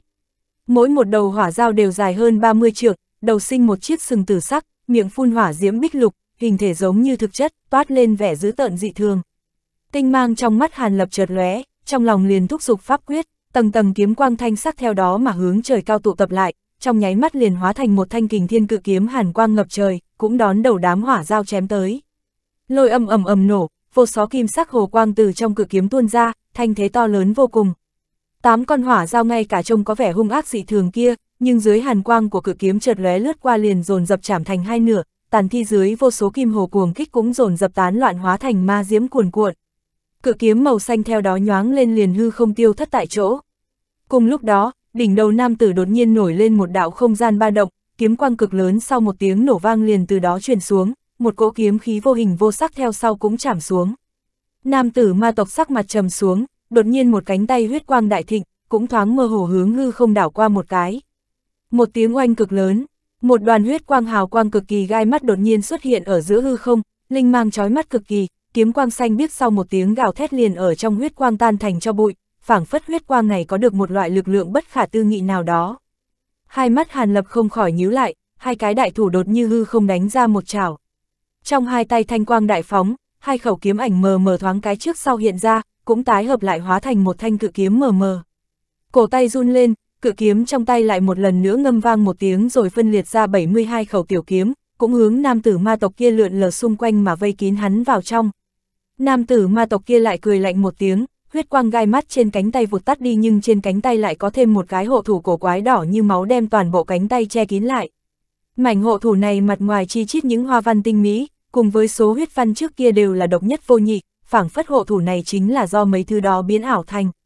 Nhưng cho dù như thế, khối hộ thủ này nhìn như không chút thu hút vậy mà lại dễ dàng đem tất cả kiếm quang mà Hàn Lập thôi động nhất kích đánh tan đi, điều này làm cho Hàn Lập hắn không khỏi âm thầm cả kinh. Lúc này, cái đầu nam tử ma tộc khẽ động, lại lần nữa dùng một ngón tay hướng về phía trước điểm một cái, hỏa diễm xanh biếc kia tức thì quay cuồng một trận, sau đó liền biến ảo thành một đầu hư ảnh ma dao tám đầu che kín bầu trời, cũng hướng phía trước lần nữa bổ nhào tới. Toàn bộ thiên không biến thành đen thui, ma dao tám khỏa đầu giữ tận chỉ trong tích tắc đã thực sự đánh tới trước người Hàn Lập hắn rồi, cũng mang theo từng trận trận mùi vị tanh tưởi ập tới, giống như chỉ cần một khoảnh khắc nữa là có thể đem Hàn Lập xé ra thành từng mảnh nhỏ vậy. Đối diện với loại công kích hung mãnh bực này, Hàn Lập mặt không chút biểu tình, thậm chí ngay một chút cử động tay chân cũng không có nhưng ngay sau lưng đột nhiên phóng thích ra một đạo kim sắc quang trụ, trong quang trụ hơ mổ có một cái hư ảnh ba đầu sáu tay hiện ra. Cái hư ảnh này sáu tay khẽ động, nhất thời một mảng kim sắc quyền ảnh dập trời như mưa rào cuồn cuộn phóng ra. Thân thể hư ảnh ma giao thực sự lớn vô cùng, dưới đám quyền ảnh dập trời kia căn bản là khó có thể khiến cho người khác cảm thấy ma giao sẽ thực sự bị đánh tan ra được. Nhưng trong vô số thanh âm phá không chói tai, ma dao lại bị xé rách thành vô số mảnh nhỏ, cuối cùng sau một tiếng trầm đục rồi tan thành mây khói. Kim quang vụt tắt, pháp tướng ba đầu sáu tay ngoài thân tinh quang lưu chuyển một trận, liền hóa thành thực thể kim quang rực rỡ, cũng chợt lóe lên rồi xuất hiện trên đầu Hàn Lập mà huyền phù tại chỗ, sáu con mắt không chút biểu tình nhìn về phía nam tử phía đối diện. Di, kim thân pháp tướng, tựa hồ cùng bí thuật của thánh tộc bọn ta có chút quan hệ. Rất tốt, quả nhiên không khiến hung mỗ thất vọng, lúc này đây thật đúng là có thể tận hứng mà đánh một trận rồi. Nam tử ma tộc đầu tiên là ngẩn ra nhưng ngay lập tức thần sắc liền chuyển sang vẻ hưng phấn, nói. Vừa dứt lời, chợt phanh một tiếng, ngoài thân nam tử vô số đoàn ma khí đen kịt hiện ra, đem thân hình hắn trùm kín vào trong, ẩn ẩn còn có từng đạo huyết sắc phù văn lóe sáng không ngừng. Tiếp đó hắc khí chợt tản ra, một kiện huyết sắc giáp y trải rộng hoa văn nhất thời hiện lên trên người nam tử. Nam tử ma tộc cuồng tiếu một trận, hai nắm tay hướng trước ngực vỗ một cái, một cái ma tướng ước chừng 10 trượng cũng hiện lên phía sau lưng hắn. Sau một tiếng nổ vang, phong vân tái khởi, thân hình nam tử theo gió mà tan biến vào trong hư không. Hàn lập thấy cảnh này con người không khỏi co rụt lại, sau lưng chợt nổi lên một tiếng sét đánh, một đôi cánh trong suốt óng ánh hiện ra. Hai cánh hơi hơi vẫy, vô số đạo ngân hồ bắn ra đem bản thể cùng kim thân ba đầu sáu tay trên đầu chợt lóe biến mất vô ảnh vô tung. Nhưng, trong khoảnh khắc sau, hư không phủ cận phong lôi âm nổi lên, hai đạo nhân ảnh một cái mang theo lôi lực chi uy cùng một cái mang theo ma khí trăm trượng đụng vào nhau, cũng ầm ầm đánh tới. Hai người này vậy mà đều là pháp thể song tu, cũng đều đối với nhục thân mạnh mẽ của mình tự tin vạn phần, trong lúc nhất thời chỉ thấy từng đạo lốc xoáy ở trên hư không gào thét sinh ra không ngừng, bên trong lại ầm ầm nổ không ngừng. Hàn Lập cùng nam tử này không chỉ quyền cước giao nhau mà còn không ngừng thuận tay tế ra đủ các loại bảo vật cùng nhiều loại thần thông phóng xuất liên miên bất tận, trong lúc nhất thời khó thể phân cao thấp. Đứng ở trong tầng quang cháo quan chiến, Ngân Phát lão giả cùng Kim Việt Thiền sư thấy cảnh này thần sắc kinh hoàng có thừa nhưng vẻ kinh hỉ cũng khó thể giấu được. Bọn họ tuy rằng đã tận lực đánh giá cao thực lực của Hàn Lập nhưng thật không nghĩ tới lại cùng nam tử ma tộc kia thực sự có thể đánh một trận. Cùng với vẻ mặt kinh hoàng cùng kinh hỉ tương phản của hai người, huyết quang hóa thân bên kia trông thấy cảnh này sắc mặt càng ngày càng khó coi, hung quang trong mắt chợt lóe, đột nhiên một tay dương lên, bộ dáng như sắp phóng suốt loại bảo vật nào đó ra ngoài. Nhưng vào lúc này, dưới chân hắn đột nhiên hiện ra một cái quang trận mờ mờ, cũng xoay tròn chuyển động rồi một cỗ không gian ba động theo đó nhộn nhạo chui ra. Không tốt, huyết quang hóa thân một thân kinh nghiệm chiến đấu đa phần được truyền lại từ bản thể đại thừa kỳ, vừa thấy cảnh sắc mặt lập tức đại biến mà thầm kêu một tiếng, ngoài thân huyết quang theo đó chợt lóe, bộ dáng như muốn thuấn di tại chỗ nhưng mà rõ ràng đã chậm một bước. Hắn chỉ cảm thấy hư không phụ cận có chút hơi vặn vẹo đi, cảnh sắc bốn phía theo đó mà đại biến, thân thể hắn vậy mà lại xuất hiện tại một phiến không gian quỷ dị tràn ngập xương trắng. Mà ở trong không gian này, Ngân Phát lão giả cùng Kim Việt Thiền sư hai người lại nghiêm nghị nhìn hắn. Hư, là hai tên bại tướng dưới tay thủ hạ ta sao, vậy mà còn dám ngăn trở ta xuất thủ. Cũng được, bổn tỏa trước thu thập các ngươi, sao lại đối phó với hàn tiểu tử kia. Khuôn mặt thanh tú của huyết bào thiếu niên chờ thoáng trở nên âm trầm dị thường, trên mặt cũng hiện ra một tia sát cơ, nói. Đại sư, xem ra chúng ta không thể không liều cái mạng già rồi, có bảo vật hay thủ đoạn gì đó tốt nhất không nên cất giấu nữa. Bây giờ không phải hắn chết thì chính là chúng ta vong. Ngân phát lão giả thấy được vẻ mặt đấy của hắn trái lại bình tĩnh rất nhiều, cũng chuyển tay hướng tăng nhân nhàn nhạt nói. Cái này tự nhiên, lão nạp liều cái mạng này, một cái xương cũng không giữ lại, cũng tuyệt đối không để ma đầu này ly khai nơi này. Kim Việt Thiền Sư sau một tiếng Phật hiệu liền kiên định nói. Ha ha, có những lời này của Kim Đạo Hữu là được. Ngân phát lão giả cười to một tiếng, một tay đột nhiên lật chuyển, trong mỗi tay đều hiện ra một kiện bảo vật. Một cái hồng quang mờ mờ, đúng là một cái quạt lông dùng thất sắc linh vũ luyện chế thành, một cái khác ngân quang rực rỡ nhưng lại là năm cái viên hoàn ngân sắc liền thành nhất thể. Thất diễm phiến cùng đồng tâm hoàn, nghĩ không ra hai kiện linh bảo này vậy mà lại rơi vào trong tay ngươi. Cốc huynh bình thường thật đúng là giấu giếm không ít ra. Kim Việt Thiền Sư vừa thấy hai kiện bảo vật này liền mừng rỡ, nói. Theo đó, tăng nhân bỗng nhiên vỗ lên áo cà sa một cái, nhất thời vô số phạm văn trôi nổi tuôn ra, mơ hồ còn theo đó là 18 kiện Phật tượng mờ nhạt hiện ra. chương 1998, Kinh Thiên Nhất Kích. Những pho Phật tượng này lúc đầu mới hiện ra tuy rằng có chút mơ hồ không rõ nhưng chỉ chốc lát sau kim quang đại phóng liền hiện ra rõ ràng ra. Mỗi một pho đều kim quang trói lọi, phảng phất như được chú tạo từ vàng dòng vậy. Kim thân pháp tướng, không đúng, chỉ là phỏng chế vật phẩm thôi. Huyết bào thiếu niên kia đầu tiên là ngẩn ra nhưng sau khi dùng thần niệm tỉ mỉ đảo qua một lượt liền lộ ra vẻ khinh thường, cười lạnh nói. Là kim thân đơn giản hóa, 18 cái cũng đủ để hàng ma phục yêu. Tăng nhân nhàn nhạt nói, hai tay bỗng nhiên bấm quyết miệng niệm chú, sau đầu đột nhiên hiện ra mấy vòng thất thải quang hoàn. 18 khỏa Phật tượng kia dưới tầng tầng thất thải quang mang quét qua liền ào ào mở mắt ra, tay chân vung vẩy, tựa hồ như đã sống dậy.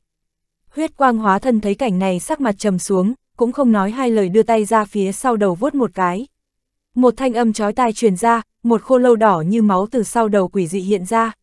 Khô lâu ấy ước chừng 5-6 trượng, cốt cách toàn thân óng ánh huyết quang, đồng thời còn có vô số luồng khí xám trắng quấn quanh bất định, khô lâu vừa hiện thân huyết quang hóa thân liền điên cuồng hét lên, một cỗ sát khí ngất trời theo đó mà cuộn ra. Lão giả tóc bạc cũng không nói hai lời cầm cái quạt bảy màu trong tay hướng đối phương xông tới quạt một cái, tiếp đó một tay còn lại đem năm khỏa ngân hoàn liền một thể hoàn ném ra. Cái quạt lông bảy màu kia cũng chính là năm đó khi còn ở nhân giới mà Hàn Lập từng phỏng chế luyện chế qua, thất diễm phiến. Năm đó, kiện phỏng chế linh bảo kia tuy rằng giúp hắn diệt sát không biết bao nhiêu cường địch, giờ đây chính là lúc chính phẩm chỗ uy, uy năng tự nhiên càng không thể so bì được. Chỉ thấy mặt ngoài quạt lông ầm vang một tiếng, vô số phù văn đỏ sậm tuôn ra, một đầu hỏa điều theo đó mà bay ra, bất quá lúc bắt đầu bay ra nó chỉ tầm một thước, nhưng sau mấy lần chớp động liền biến lớn thành 10 trượng. hỏa điều hai cánh nhẹ nhàng quạt một cái, linh vũ toàn thân theo đó tản ra một cỗ thất sắc quang diễm, khí tức cực nóng theo đó mà tràn ngập thiên không, cũng có một đoàn thất sắc quang diễm hướng huyết quang hóa thân cuốn tới. Về phần năm khỏa ngân hoàn màu bạc kia sau khi được ném ra trong nháy mắt liền biến thành một cái cự hoàn vắt ngang trời, không chung theo đó mà xuất hiện năm bóng trăng năm màu, đồng thời cũng bộc phát ra từng tiếng ông ông quái dị. Tốc độ xuất thủ của Kim Việt Thiền Sư tuy rằng không nhanh hơn lão giả nhưng cũng không quá chậm, sau khi tiếng chú ngữ truyền ra, đám Phật tượng theo đó bỗng nhiên quỷ dị biến mất không thấy. Sau một khắc, bốn phía huyết bào thiếu niên kim quang chợt chói lòa, mười mấy khỏa Phật tượng theo đó lặng lặng xuất hiện, mặc dù tay chân chúng chưa động nhưng từng cỗ vô hình cự lực trống giống hiện ra, hướng trung tâm áp tới. Huyết quang hóa thân sắc mặt âm trầm, sau một tiếng hừ lạnh ngoài thân đột nhiên toát ra từng cỗ huyết sắc ma vân, hai tay áo vung lên, vô số huyết sắc quang đoàn hướng bốn phương tám hướng kích tới, đồng thời khô lâu sau lưng thoáng mơ hồ đi rồi trực tiếp hóa thành một đạo hư ảnh hướng thất sắc hỏa điều lao tới. Trong chốc lát, phụ cận huyết phân chợt ầm ầm nổ vang lên, Ngân Phát lão giả và Kim Việt Thiền sư hai người dựa vào bảo vật lợi hại cùng trận pháp cấm chế cùng hóa thân thánh tổ này bắt đầu tranh đấu với nhau. Một tiếng oanh lôi âm trầm muộn, Hàn Lập chỉ cảm thấy hai tay nóng lên, hai tòa sơn phong cao trục trưởng thoáng cái tuột tay bắn ra, đồng thời thân hình chấn động mà bay ngược về phía sau vài chục trượng, sau một cái trở mình nữa thì thân hình mới ổn định lại trên không trung, trên mặt theo đó chợt chấp hiện một tầng đỏ sậm trên mặt. Về phần nam tử ma tộc đối diện, thân hình cũng rung mạnh lên rồi lui lại về phía sau cỡ 10 trượng, đôi cự giản biến ảo ra trong tay lúc trước cũng rơi ra. Về phần kim thân ba đầu sáu tay lại đang cùng một vật toàn thân đen kịt có chút giống sơn quái đánh nhau bất kể trời đất. Quyền cước huy động, một cái kim quang loạn động ầm ầm bạo liệt không ngừng hướng, một cái ma khí cuồn cuộn, hắc mang gai mắt tung tóe khắp nơi, thanh âm thê lương chói tai liên miên bất tận. Thế nhưng, bất kể là phạm thánh kim thân hay quái vật hình người, quyền cước cự lực hạ lên thân đối phương đều phảng phất như gãi ngứa lẫn nhau, nhiều lắm cũng chỉ khiến thân thể rung động lui lại vài cái rồi lại tiếp tục phi tới đối phương đánh tới, cả hai tựa như có được kim thân bất hoại. Không sai, không sai, không ngờ chỉ bằng thân thể liền cùng ta khó phân thắng bại, ngược lại đây là lần đầu tiên ta gặp phải. Bất quá, nếu chỉ có chút thực lực ấy cũng khó mà tiếp tục được. Trong tay ma tộc đại hán có chút bỏng rát, vẻ điên cuồng trên mặt theo đó mà biến mất không thấy mà lại mang theo một tia lãnh khốc, nói. Ngươi không cảm thấy nói nhảm quá nhiều sao? Hàn Lập nghe vậy mặt không chút thay đổi, linh lực khổng lồ trong người lưu truyền một trận, cảm giác không khỏe trên người theo đó mà tán đi toàn bộ, chớp mắt liền khôi phục lại như lúc ban đầu. Hừ, hung mộ khó được phát thiện tâm, cũng là muốn ngươi sống lâu thêm một lát. Nếu đã không cảm kích ta thì ta liền tiễn ngươi lên đường. Ma tộc đại hán cuồng tiếu một tiếng, ma ảnh như ẩn như hiện phía sau lưng đột nhiên ngưng tụ lên giống như thực thể, đúng là một đầu ma sư ba đầu cực lớn. Thân thể ma sư sau khi ngưng tụ ra rõ ràng liền phát tán ra một cỗ khí thức khổng lồ, đồng thời huyết giáp trên thân đại hán sau một tiếng phì liền biến thành một tầng huyết sắc quang diễm bao lấy toàn thân. Đại hán nhe răng cười một tiếng, hai tay chậm rãi nâng lên, đồng thời đưa năm ngón tay hướng Hàn Lập chỉ tới rồi chậm rãi nhắm hai mắt lại. Mà ma sư ba đầu nguyên bản sáu mắt nhắm chặt đột nhiên chậm rãi mở mắt ra, cũng ngắm nhìn cự viên một khắc không rời bằng thứ con người xanh biếc không chút cảm tình. Hàn Lập thấy cảnh này, một cỗ cảm giác dựng tóc gáy chợt bao phủ toàn thân, trong lòng cả kinh mà hét lớn một tiếng, đơn thủ vừa bấm quyết, Phạm Thánh Kim Thân đang tranh đấu với quái vật phía đằng xa theo đó mà biến mất không một tiếng động, đồng thời thân thể hắn theo đó mà bắt đầu cuồng trướng lên, chớp mắt một cái liền trở thành một đầu kim ma cự viên hơn 10 trượng. Phía sau cự viên kim quang chợt lóe, kim thân ba đầu sáu tay liền hiện ra, đồng thời hướng cự viên bổ nhào tới, cùng cự viên hai hợp lại làm một. Khí tức cự viên theo đó mà tăng lên rất nhiều, đồng thời bên trên hai lòng bàn tay lại có thêm hai tòa sơn phong một xanh một đen trống giống hiện ra. Đúng lúc này, đại hán đối diện hai bàn tay huyết quang chợt lóe, hai đạo huyết sắc quang trụ phảng phất như thực chất cùng lúc phun ra, đồng thời ma sư ba đầu phía sau lưng cũng hé miệng phun ra một ba đạo quang trụ một xanh, một trắng, một đen bắn tới.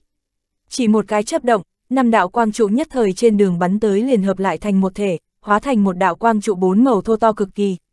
Cột sáng này bắn đi không chút tiếng động nhưng trong đó ẩn chứa uy năng đáng sợ, cũng khiến cho cử viên mà Hàn Lập vừa biến thành trong lòng giật mình một cái, cũng không cần suy nghĩ đem đại lượng pháp lực theo hai bàn tay thúc ra như mưa rào hướng hai ngọn sơn phong cuồng chú vào.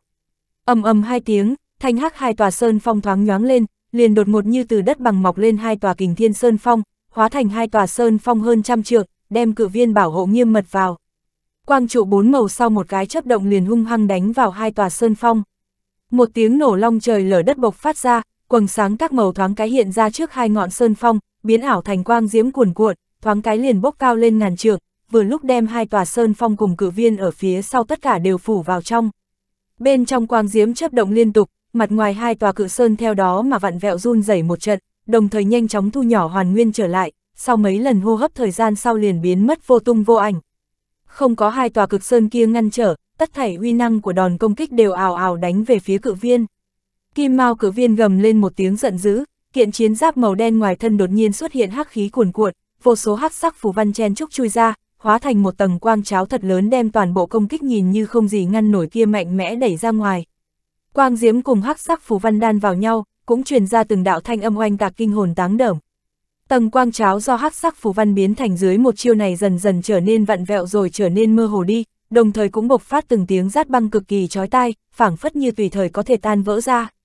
Kim Mao cử viên sau một tiếng thét đầy kinh sợ, bên ngoài thân thể đột nhiên kim quang lưu chuyển, thoáng cái liền cuồng trướng lên gấp 10 lần, đồng thời hai bên đầu cử viên và bên dưới hai cánh linh quang lưu chuyển một trận, thoáng cái liền thêm vào đó hai khỏa đầu lâu cùng bốn cánh tay khác nữa, cử viên vậy mà lại biến thành một đầu kim mao cử viên ba đầu sáu tay. Đồng thời, ngay khi biến thân hoàn tất, sáu cánh tay cử viên tề khởi, đồng thời hướng trời cao trào tới, sáu đoàn kim quang gai mắt nhất thời hiện lên rồi hướng về phía trước người hợp lại thành một đoàn kim sắc toàn phong hiện ra, đồng thời nhoáng lên một cái liền biến lớn lên. Kim sắc toàn phong chỉ hơi hơi chuyển động một chút, một cỗ cự lực bàng bạc theo đó mà tuôn ra, vừa lúc cùng đám quang diễm hung hăng đụng vào nhau. Lại một tiếng nổ đinh tai nhức óc nữa vang lên, một vòng sóng khí hướng bốn phương tám hướng cuồng quyển tới, hư không phụ cận theo đó mà vặn vẹo mơ hồ đi, đồng thời các loại thanh âm bạo liệt đùng đùng theo đó mà bộc phát ra, phảng phất như muốn đem toàn bộ hư không nơi này xé toạc ra. Đại hán ma tộc phương xa thấy cảnh này sắc mặt cũng không khỏi biến đổi, tâm niệm vừa chuyển liền đem năm ngón tay hợp lại, năm đạo quang trụ theo đó mà dần dần thu liễm biến mất. Bất quá, sắc mặt lúc này đại hán đã hiện ra một tia mệt mỏi, tựa hồ đòn công kích vừa rồi đã tiêu hao không tí chân nguyên của hắn. Cùng lúc đó, ma sư ba đầu phía sau lưng hắn đồng dạng đóng miệng dừng công kích lại, thần quang trong sáu con mắt cũng ảm đạm đi không ít.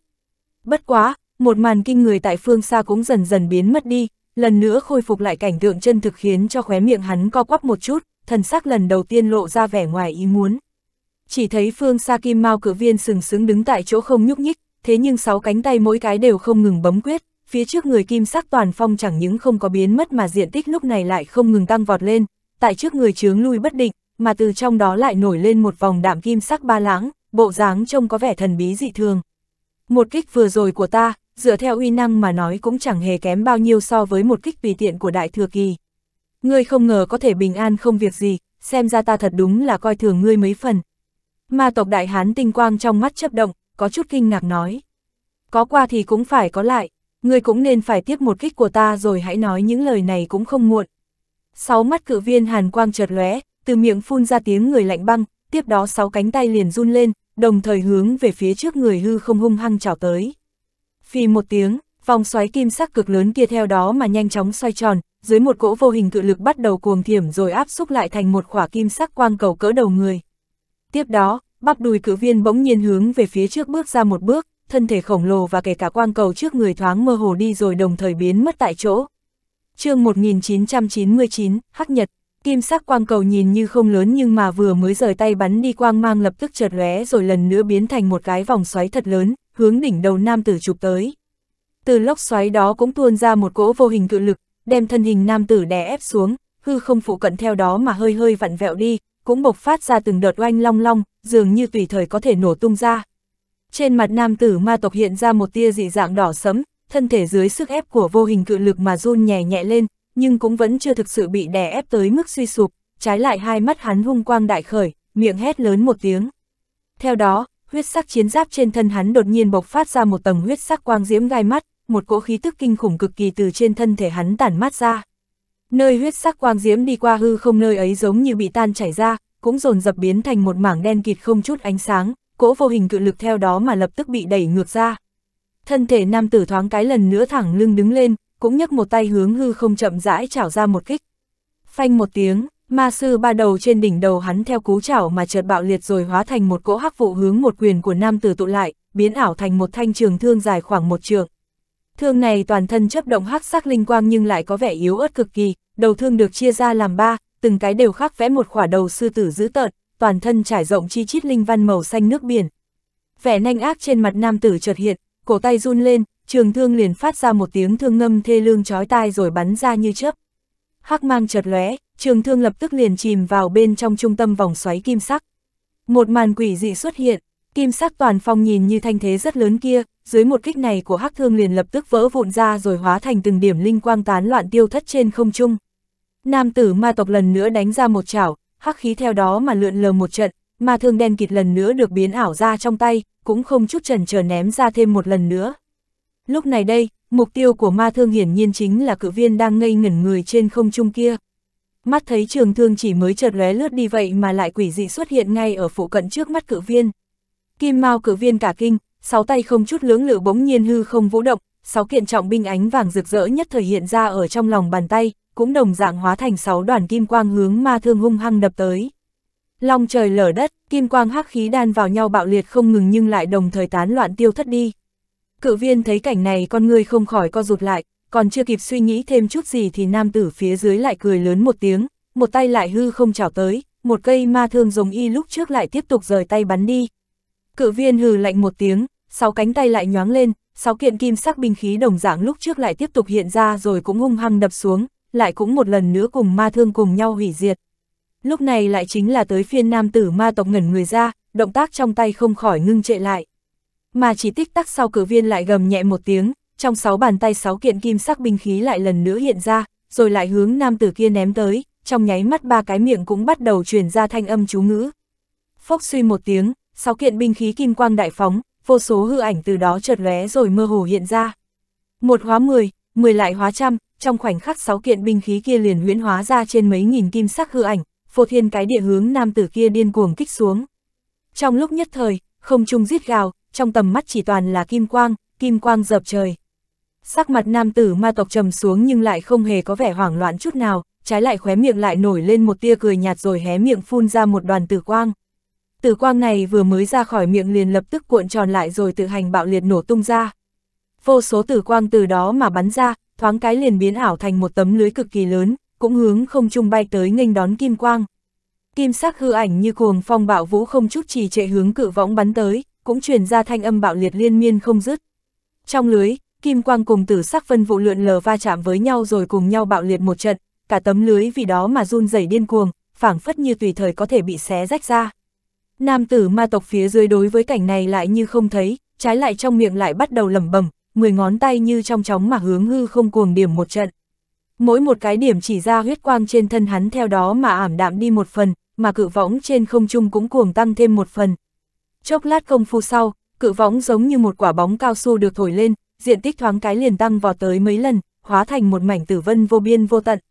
Tử vân này dưới pháp quyết của nam tử thúc dục bỗng nhiên như gió cuốn mây trôi đem toàn bộ kim sắc hư ảnh dập trời thu lại, một lần nữa lại hóa thành một đoàn tử sắc quang cầu hướng xuống dưới bay đi. Nam tử một tay khẽ vẫy, quang cầu lập tức rơi vào trong tay hắn, ánh mắt hắn lại hướng lên cao đảo qua một lần, sắc mặt nhất thời lạnh lẽo đi. Chỉ thấy hư không trên cao đã trống không, kim mao cử viên hiển nhiên đã không thấy tung tích đâu nữa.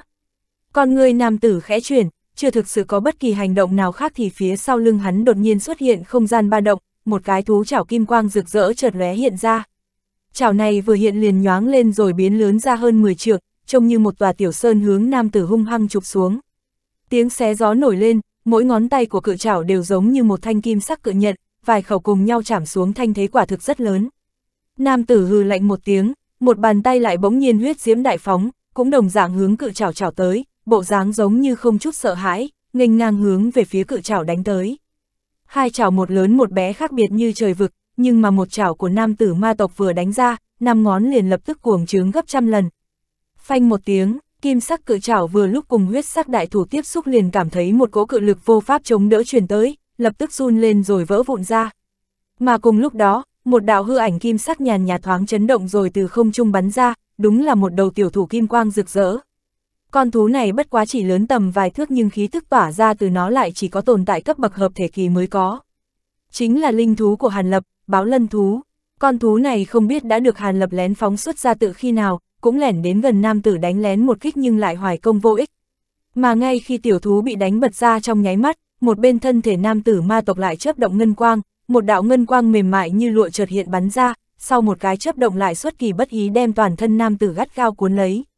Ba động nổi lên, cự viên ba đầu sáu tay theo một phương bất đồng khác thoáng hiện ra.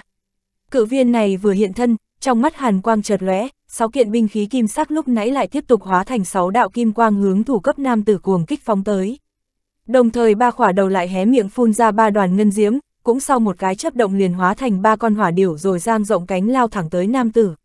Nam tử ma tộc đối diện với tất cả công kích này hai mắt khẽ nhíu lại, nhưng một chút hoảng loạn cũng không có. Ngoài thân huyết quang chợt tăng vọt lên, ngân quang mềm mại theo đó liền tất tắc đứt ra, tiếp đó trong tay hắn lại xuất hiện hắc khí mờ mờ, một cây thương đen kịt lần nữa hiện ram, cổ tay hắn hơi nhoáng lên, hướng trường thương nhanh chóng đâm về phía cự viên. Thương này trên đường bay tới chợt nhoáng lên rồi huyễn hóa ra chín cây thương độc nhất vô nhị khác, cũng thuận thế bắn đi. Trong đó, 6 cây phương hướng biến đổi, hướng về phía 6 đạo kim quang bắn tới, ba cây còn lại lại chia ra hướng ba đoàn ngân diễm đâm tới.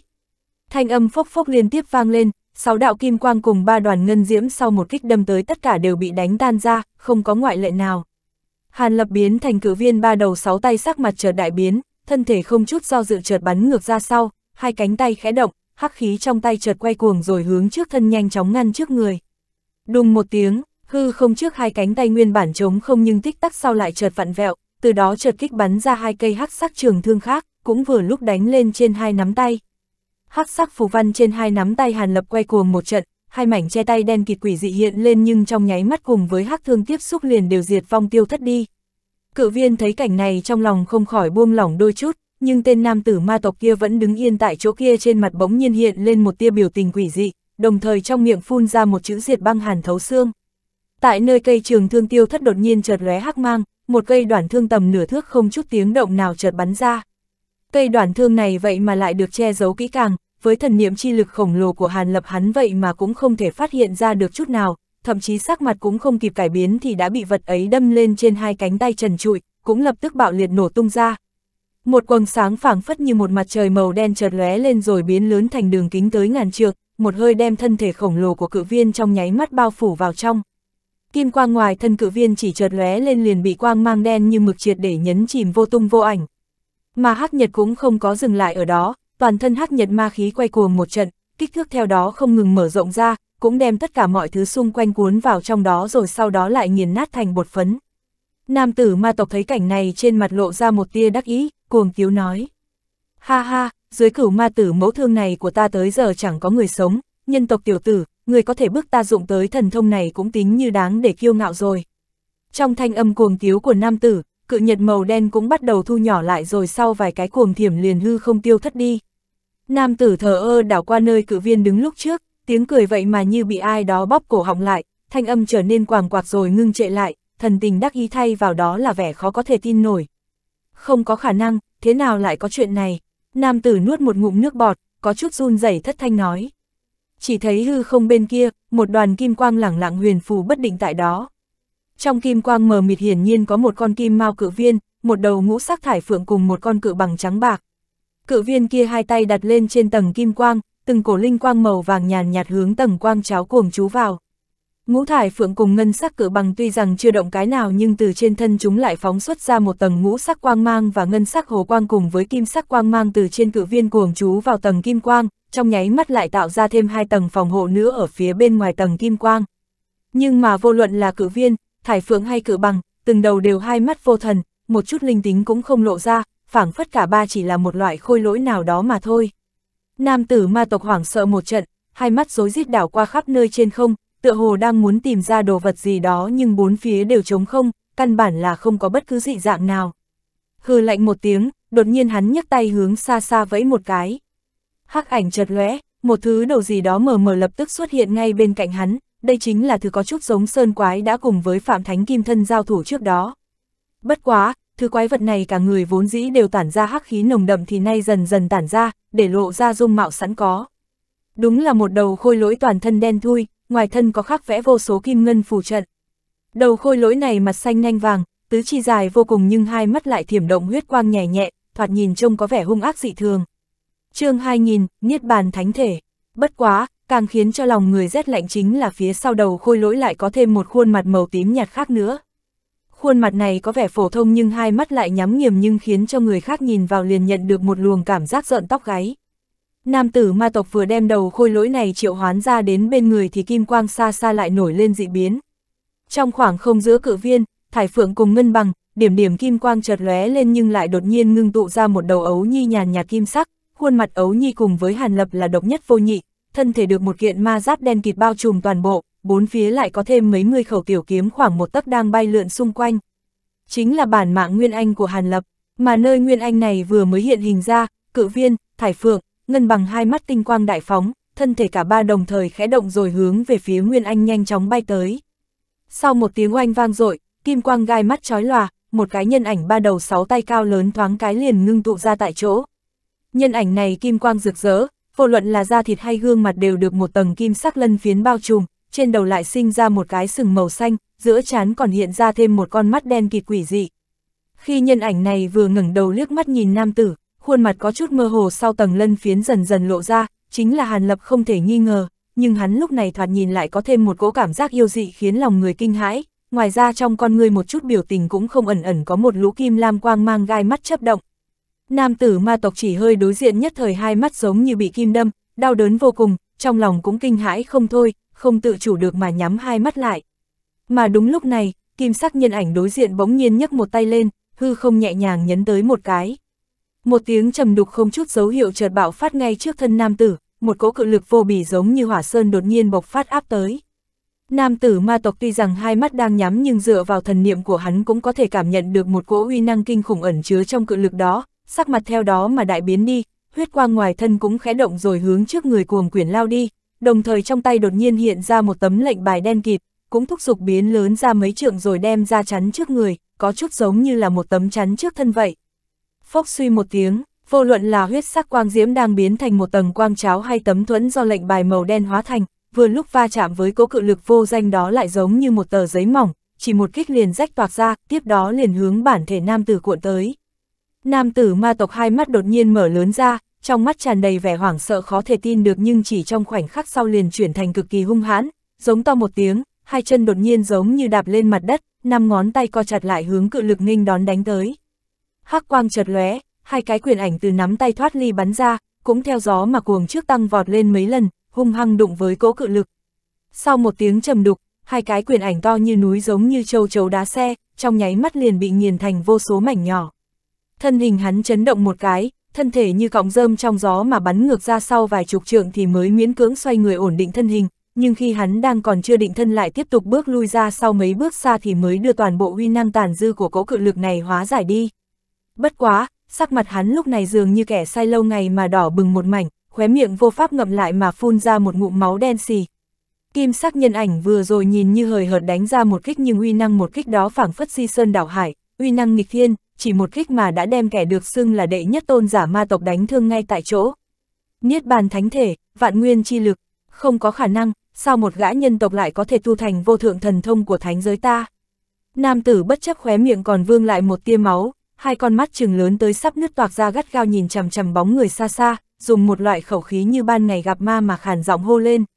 Mà ngay khi lời này vừa nói ra, thân thể kim sắc nhân ảnh xa xa lại nhoáng lên một cái, cũng hời hợt mở miệng phun ra một đoàn huyết dịch đỏ tươi. Bất quá đoàn huyết dịch này lại có chút đạm kim lẫn vào trong đó, cũng vừa mới phun ra khỏi miệng liền tan vào hư không. Vạn nguyên chi lực, đại khái đúng là thế. Ngươi nếu đã bức ta thi triển ra loại thần thông này tuyệt nhiên ta không thể lưu lại ngươi trên thế gian này rồi. Lân phiến trên mặt kim sắc nhân ảnh dần dần lặn đi, cũng lộ ra khuôn mặt tái nhợt của Hàn Lập, đồng thời thần quang trong hai mắt thoáng khôi phục lại mấy phần, tức giận nhàn nhạt nói. Phản phệ chi lực, nguyên lai là ngươi cũng không có tu thành loại vô thượng thần thông này, chỉ là cưỡng ép thôi động mà thôi. Nhìn dáng vẻ của ngươi, một kích vừa rồi xem ra cũng không thể vận dụng được mấy lần. Nam tử ma tộc tận mắt thấy tất cả lại thở dài một hơi, thân sắc trên mặt theo đó mà buông lỏng đi mấy phần, thì thảo nói. Đích xác là không dùng được mấy lần nhưng chỉ cần tiếp tục một kích như trước cũng có thể trực tiếp tiêu diệt ngươi. Yêu nhãn giữa chán hàn lập đột nhiên chợt lóe thần quang, trên mặt lộ ra một tia quỷ dị, nói. Vừa dứt lời, ngoài thân hàn lập kim quang đại phóng, vô số kim sắc phù văn từ trên thân thể hắn tuôn ra, đồng thời một tay lại sờ sờ đầu, năm đoàn đoàn kim quang bắn ra, sau khi hơi cuộn lại một cái liền phân biệt biến thành cự viên, thải phượng, ngân bằng, khổng tước, kim long năm loại hư ảnh. Mà năm đạo hư ảnh này vừa thành liền phân biệt ngân ra các loại thanh âm khác nhau, thân hình khẽ động liền dồn dập chìm vào thân thể của Hàn Lập. Trong khoảnh khắc sau, trên mặt Hàn Lập lại một lần nữa lóe lên một tầng kim khí, miệng thét lớn một tiếng đầy thống khổ, một tay lại bắt đầu bấm quyết. Lập tức thân thể cuồng trướng tới hơn 10 lần, biến thành mười mấy trượng cao, đồng thời một khỏa đầu người kim sắc cùng hai cánh tay trải rộng kim sắc lân phiến thoáng cái được biến ảo mà hiện ra ở trên người. Hàn Lập vậy mà tiến hành ma hóa thân thể, biến ảo thành hình tượng hai đầu bốn tay yêu dị. Bất quá lần biến ảo này lại cùng với Phạm Thánh chân ma công biến thân rất không giống nhau, không chỉ cái đầu thứ hai có thêm một cái sừng màu xanh mà lại còn có thêm một khỏa đệ tam yêu nhãn. Thân thể sau khi biến lớn tới cự hạn, kim sắc lân phiến theo đó chợt lóe lên rồi dung hợp lại cùng nhau rồi biến ảo thành một kiện chiến giáp tinh mỹ rực rỡ kim quang, mặt ngoài chiến giáp ngưng kết vô số ngân sắc phù văn nhàn nhạt, nhạt, một khe hở cũng không có, cũng có một cỗ khí tức hoang dã thượng cổ từ đó tản mát phát tán ra, trông như nó vốn vì thiên địa mà được sinh ra vậy. Nhị niết biến thân, ngươi điên rồi, nhất niết biến thân ngươi còn chưa thể nắm giữ được vậy mà lại dùng tới nhị niết biến thân cường đại. Ngươi còn chưa có thể giết ta thì chính mình đã bạo thể mà chết rồi. Vừa thấy Hàn Lập biến thành bộ dáng như vậy, nam tử ma tộc trong lòng cả kinh thốt ra một câu, trên mặt lần đầu tiên lộ ra vẻ sợ hãi. Cho dù có bạo thể thì cũng là sau ngươi chết đi. Trước tiếp ta một kích này rồi hãy nói. Hàn Lập hai đầu bốn tay không vì chút khua môi múa mép của nam tử mà xúc động, kim lam quang mang kỳ lạ trong bốn mắt chợt lóe, khí tức trên thân thoáng cái liền cấp tốc tăng vọt lên mấy lần, bốn cái cánh tay chậm rãi nhấc lên rồi hướng nam tử ma tộc vỗ tới. Thiên địa theo đó mà ảm đạm đi, kim hà nhàn nhạt chớp động hiện lên, bốn cái bàn tay kim sắc thật lớn đồng thời lóe lên ngay trên đỉnh đầu nam tử. Trong một một cái kim thủ đều ẩn chứa uy lực không thua một kích bằng vô hình cự lực khi nãy, cũng thoáng cái liền chất chồng dung hợp nhất thể với nhau, biến thành cự trưởng như một tòa cự sơn trăm trượng lấy thế thái sơn áp đỉnh rơi xuống. Tuy rằng thế rơi của kim sắc cự trưởng không phát chút thanh âm nào nhưng một cỗ khí thức quỷ dị từ lâu đã tỏa định linh hồn của nam tử, làm hắn căn bản không thể tránh né được mảy may nào, chỉ có thể đón tiếp mà thôi. Ta sao có thể ngã xuống tại đây? Nam tử ma tộc thấy tận mắt cảnh này liền kinh sợ hét lớn một tiếng, trên mặt theo đó hiện lên một cỗ ý chí điên cuồng, hai tay tề khởi, hơi mười quang đoàn đủ mọi màu sắc chợt bắn ra, cũng hóa thành đủ loại đỉnh giai bảo vật đồng loại hướng kim sắc cự trưởng bạo liệt ra ngăn trở. Đồng thời tự thân hắn cũng bộc phát ra huyết sắc quang diễm gai mắt, trong tay thoáng hiện ra một khỏa quái nhận thật lớn chấp động kim ngân lưỡng sắc linh quang, hai tay nắm chặt hướng lên cao toàn lực chém ra. Một đạo nhận mang kim ngân lưỡng sắc chợt lóe bắn ra, cũng cùng các loại bảo vật lúc trước đánh lên kim sắc cự trường. Kinh thiên động địa, nhận mang trong nháy mắt đánh lên cự trường liền bạo liệt, toái mang theo đó mà bắn ra bốn phía, thậm chí còn đem hư không phụ cận cắt ra từng vết trắng bạc, nhưng kim sắc cự trường ngoại trừ kim quang hơi lóe ra thì một chút vết tích cũng không lưu lại. Bất quá, hơn 10 kiện bảo vật kia cơ hồ cũng bắn trúng kim trường, cũng dưới từng tiếng gầm liên tiếp của nam tử mà đồn dập tự bạo nổ tung ra. Hơn 10 kiện đỉnh giai bảo vật cùng lúc bạo liệt cũng tạo thành một cỗ uy năng thật lớn, trong nháy mắt liền đem toàn bộ kim trường nhấn chìm vào trong, ba động vụ nổ theo đó mà lan ra bốn phương tám hướng, cũng huyễn hóa ra từng cỗ gió lốc kình thiên, hướng ngư không khắp nơi gào thét cuồn quyển tán loạn ra.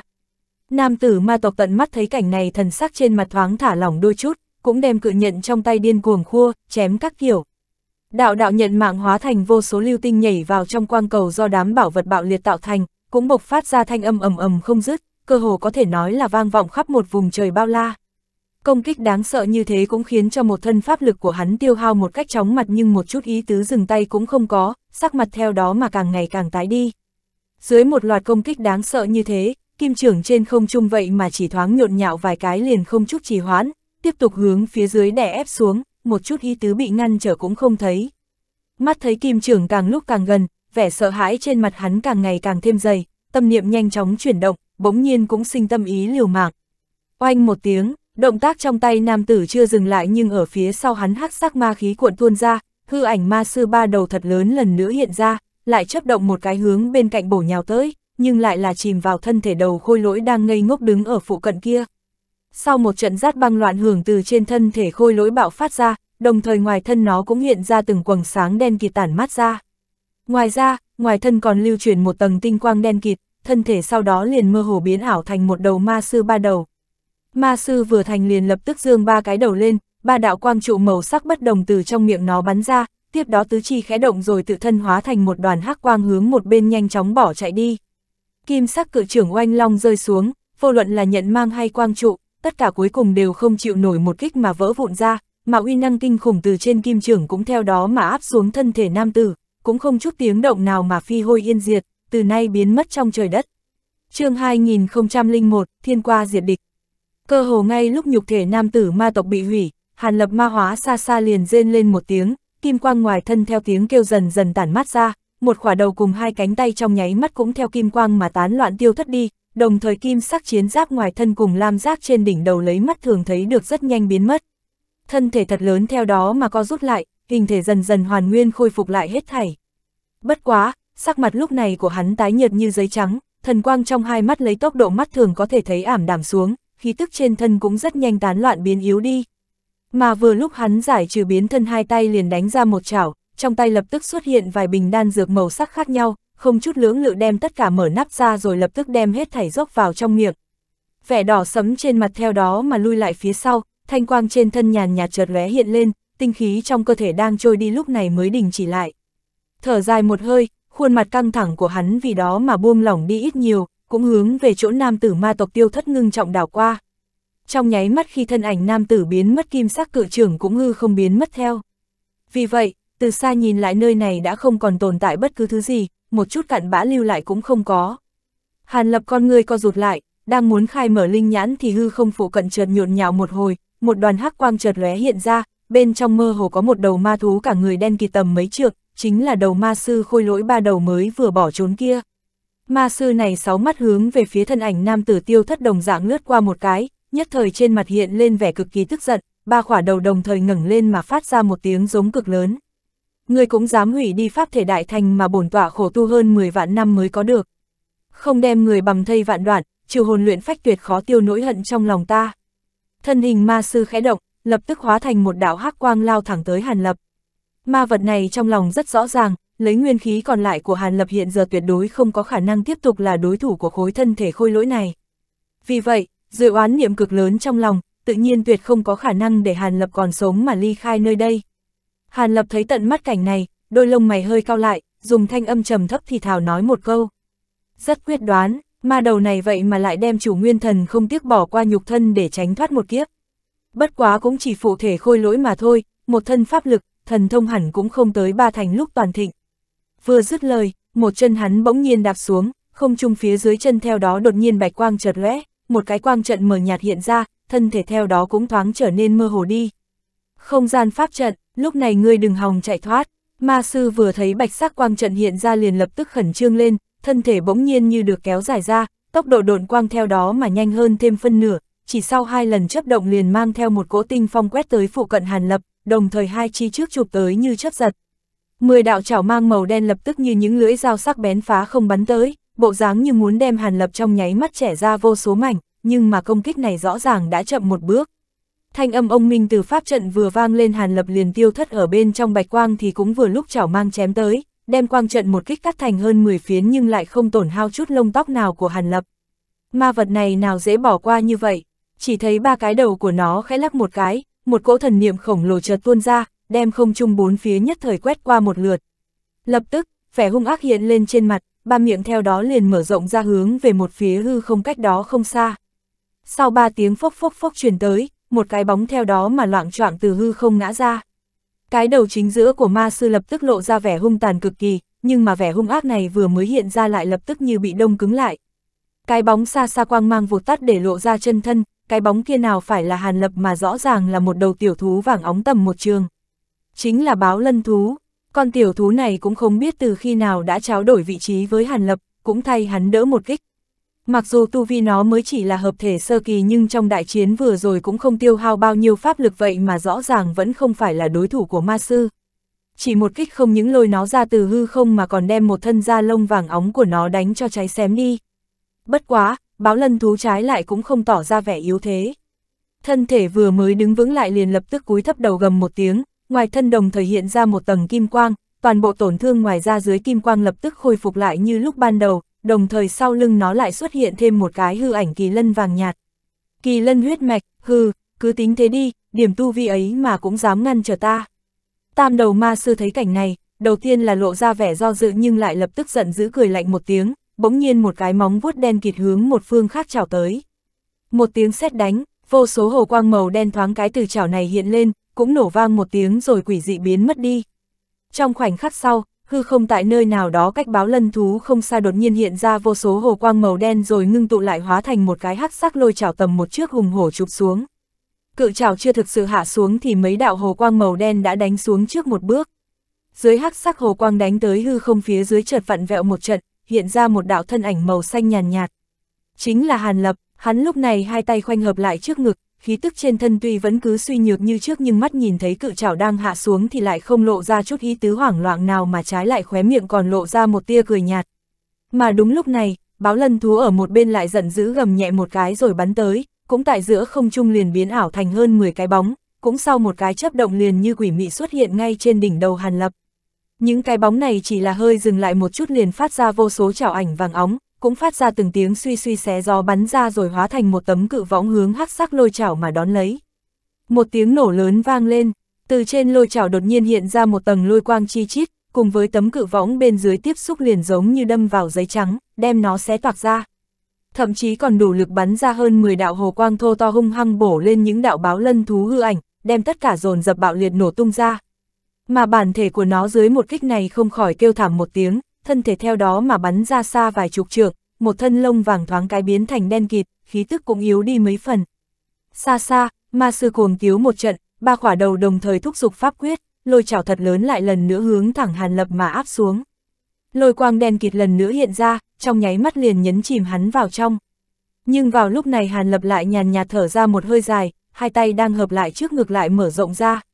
Một tiếng ngâm như rồng ngâm phượng khiếu, một đạo kim quang như cầu vòng từ trong hai tay hắn phá không bắn ra, chỉ sau một cái chấp động liền chợt lóe xuyên qua lôi chảo kia, vậy mà lại khiến cho cự chảo quỷ dị biến mất sau một tiếng trầm muộn. Ma sư xa xa thấy cảnh này sắc mặt không khỏi biến đổi, nhưng trong lúc còn chưa minh bạch chuyện gì đã xảy ra thì đạo kim quang kia trên bầu trời lại cuộn tròn một cái, bỗng nhiên hóa thành một đạo quang trụ kim sắc thô to phóng thẳng lên mấy ngàn trượng cao. Bên trong quang trụ, mơ hồ có một thanh trường qua mờ nhạt lặng lặng huyền phù bất động, đồng thời bốn phương tám hướng thoáng cái hiện ra vô số điểm kim quang như con thiêu thân hướng về phía trường thương bay tới. Theo cỗ khí thức cực kỳ kinh người từ trường qua tản ra vậy mà lại có thể đem toàn bộ thiên địa nguyên khí tại phiến thiên không nơi này quấy nhiễu một trận. Mà đúng lúc này, hư ảnh trường qua chợt oanh long long một tiếng, kim quang toàn thân chợt lóe, cả cây quang trụ theo đó liền biến thành một thanh kình thiên kim qua kim quang rực rỡ. Ma sư thấy cảnh này sắc mặt nhất thời đại biến, không chút lưỡng lự lập tức hóa thành một đạo ô quang bay lên trời bỏ chạy hai mắt hàn lập hàn quang chợt lóe, một ngón tay hướng xa xa hơi điểm một cái. Theo đó, kim sắc cửa qua nhẹ nhàng nhoáng lên liền hướng ma sư vô thanh vô tức chém xuống. Ma sư kia sau một cái chấp động liền đã phi độn được hơn trăm trượng, lại đang muốn thi triển đại thần thông cưỡng ép phá vỡ không gian trốn đi thì bỗng nhiên cảm thấy không gian bốn phía chợt nhộn nhạo lên, thể nội pháp lực thoáng cái liền ngưng trệ, một tia pháp lực cũng vô pháp điều động được mảy may. Không tốt, ma vật này vừa quát lớn một tiếng liền cảm thấy toàn bộ thân thể mát lạnh đi, hai mắt chợt tối sầm lại rồi không còn chút chi giác nào nữa. Trong lúc đó, trong mắt Hàn Lập ở xa xa chỉ thấy cảnh kim sắc cực qua kia rơi xuống liền hóa thành một đạo qua ảnh cực lớn đem tam đầu ma sư phủ vào trong đó. Tại trong kim quang chớp động, thân thể ma sư trong nháy mắt tắc tắc vỡ vụn ra, cả nguyên thần theo đó cũng tan thành bột phấn, triệt để tiêu thấy không thấy. Đến lúc này, nam tử ma tộc kia mới chân chính ngã xuống, trên thế gian từ đây sẽ không còn chút vết tích nào của hắn nữa. Hàn Lập thở dài một hơi, cả người lúc này mới chân chính thả lỏng xuống mấy phần. Tự nhiên, chém giết đầu ma sư kia chính là tấm tiên phù mà hắn tổn hao rất nhiều công sức mới luyện chế được, thiên qua phù. Tấm tiên phù này không hổ là tiên giới linh phù, vừa được tế ra liền dễ dàng chém giết cường địch. Đương nhiên cái này cũng vì lẽ hắn đã mất đi pháp thể, vô luận là pháp lực hay thần thông trên phương diện uy năng đều giảm đi hơn phân nửa, bằng không cho dù với uy năng nghịch thiên của tấm phù này cũng không có khả năng dễ dàng chém giết gã đại địch ma tộc này. Về phần thần thông hắn đánh tan nhục thể nam tử kia chính là một trong những thần thông lợi hại nhất được ghi chép trong Phạm Thánh chân Ma Công. Nhưng thần thông này tựa như nam tử ma tộc nói, lấy tu vi cùng trình độ nhục thân của Hàn Lập hắn bây giờ cũng không đủ để thi triển ra, là thần thông nghịch thiên sau khi tiến giai đại thừa kỳ mới có thể vận dụng được. Trong lúc bế quan hắn cũng từng nếm thử một lần, tự nhiên cũng phát hiện ra được điểm này. Bất quá, Niết bàn thánh thể uy năng cũng thực sự cường đại phi thường, một khi thi triển ra cho dù là nhất niết sơ kỳ biến thân thì cũng dễ dàng khiến pháp lực tăng vào tới trên hai lần, càng không phải nhắc tới cố cự lực quỷ thần khó tránh kia nữa. Vì vậy, sau một hồi đau khổ suy tính nhưng hắn muốn thi triển ra một chiêu này liền phải vận dụng tới kinh chập thập nhị quyết lực lược, tạm thời kích phát tiềm năng trong chân linh chi huyết trong cơ thể, mượn những chân huyết chi lực này tạm thời thôi động thần thông này kháng địch.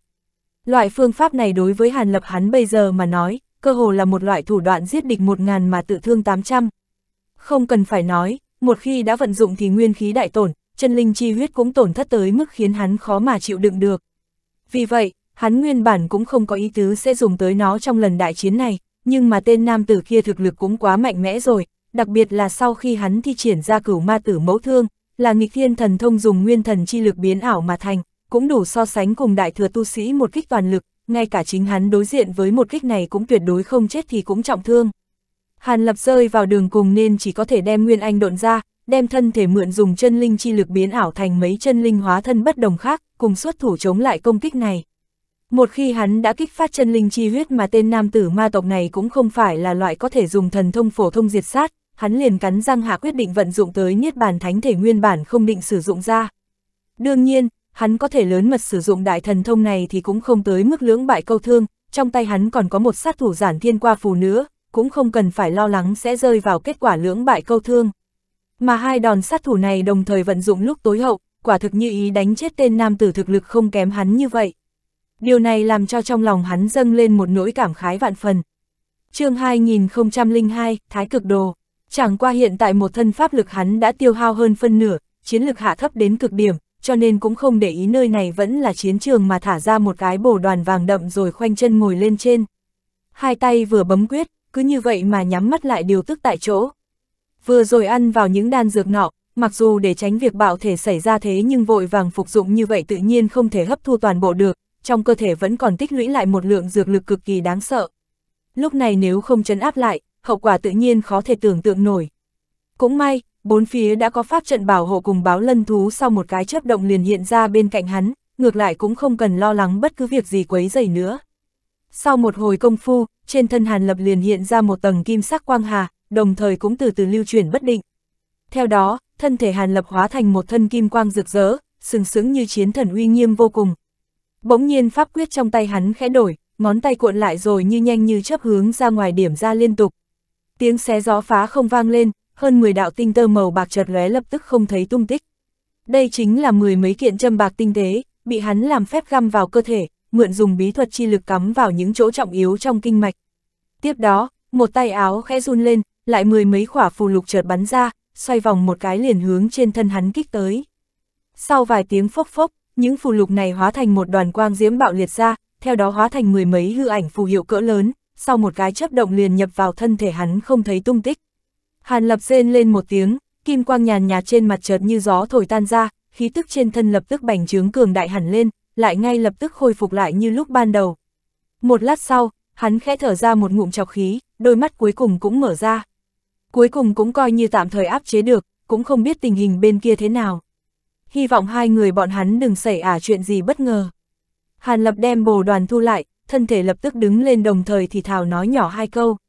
Ánh mắt chợt lóe, hắn hướng một phương nào đó nhìn lướt qua. Nếu không sai biệt lắm hẳn là hai người Kim Việt Thiền Sư vẫn còn cùng huyết quang hóa thân kia đang đánh giết kịch liệt. Hàn lập hơi chút trầm ngâm đi, đang muốn có hành động khác thì bỗng nhiên hư không run rẩy một trận kịch liệt, tiếp đó là từng tiếng nổ rung trời chuyển đất. Thiên không bốn phía cùng quang cháo xung quanh chớp mắt tắc tắc vỡ vụn, cả tòa không gian pháp trận vậy mà lại bị người nào đó dụng tới thần thông cực mạnh mạnh mẽ đánh nát ra. 36 danh tu sĩ thân hình thoáng rơi xuống, ào ào từ hư không chợt hiện ra, hoặc là há miệng phun một ngụm máu hoặc là tứ chi tự hành bạo liệt nổ tung ra, khí cụ bầy trận trước người bị phản phệ chi lực đánh cho tan thành cho bụi. Hàn lập sắc mặt khẽ biến, ánh mắt ngưng lại nhìn về phía hư không kia. Chỉ thấy nơi kia thình lình có một đầu khô lau toàn thân óng ánh huyết hồng cực lớn hiện đang gầm nhẹ đại sát tứ phương. Khô lâu này lớn cỡ chừng hơn trăm trượng, đồng thời hóa thành bộ dáng ba đầu sáu tay, sáu tay mỗi cái cầm một kiện binh khí dạng côn đen nhánh. Sáu kiện binh khí này đồng loạt huy động tạo nên một chân ma phong đen thui thủi, trong hắc khí còn mơ hồ có vô số đao thương cuồng quyển bay ra. Tại đỉnh đầu khô lâu, huyết bào thiếu niên một tay bấm quyết một tay nâng một quả đại ấn màu đen đứng ở đó, đôi mắt khép hờ, phảng phất như đang toàn lực thôi động khô lâu dưới thân.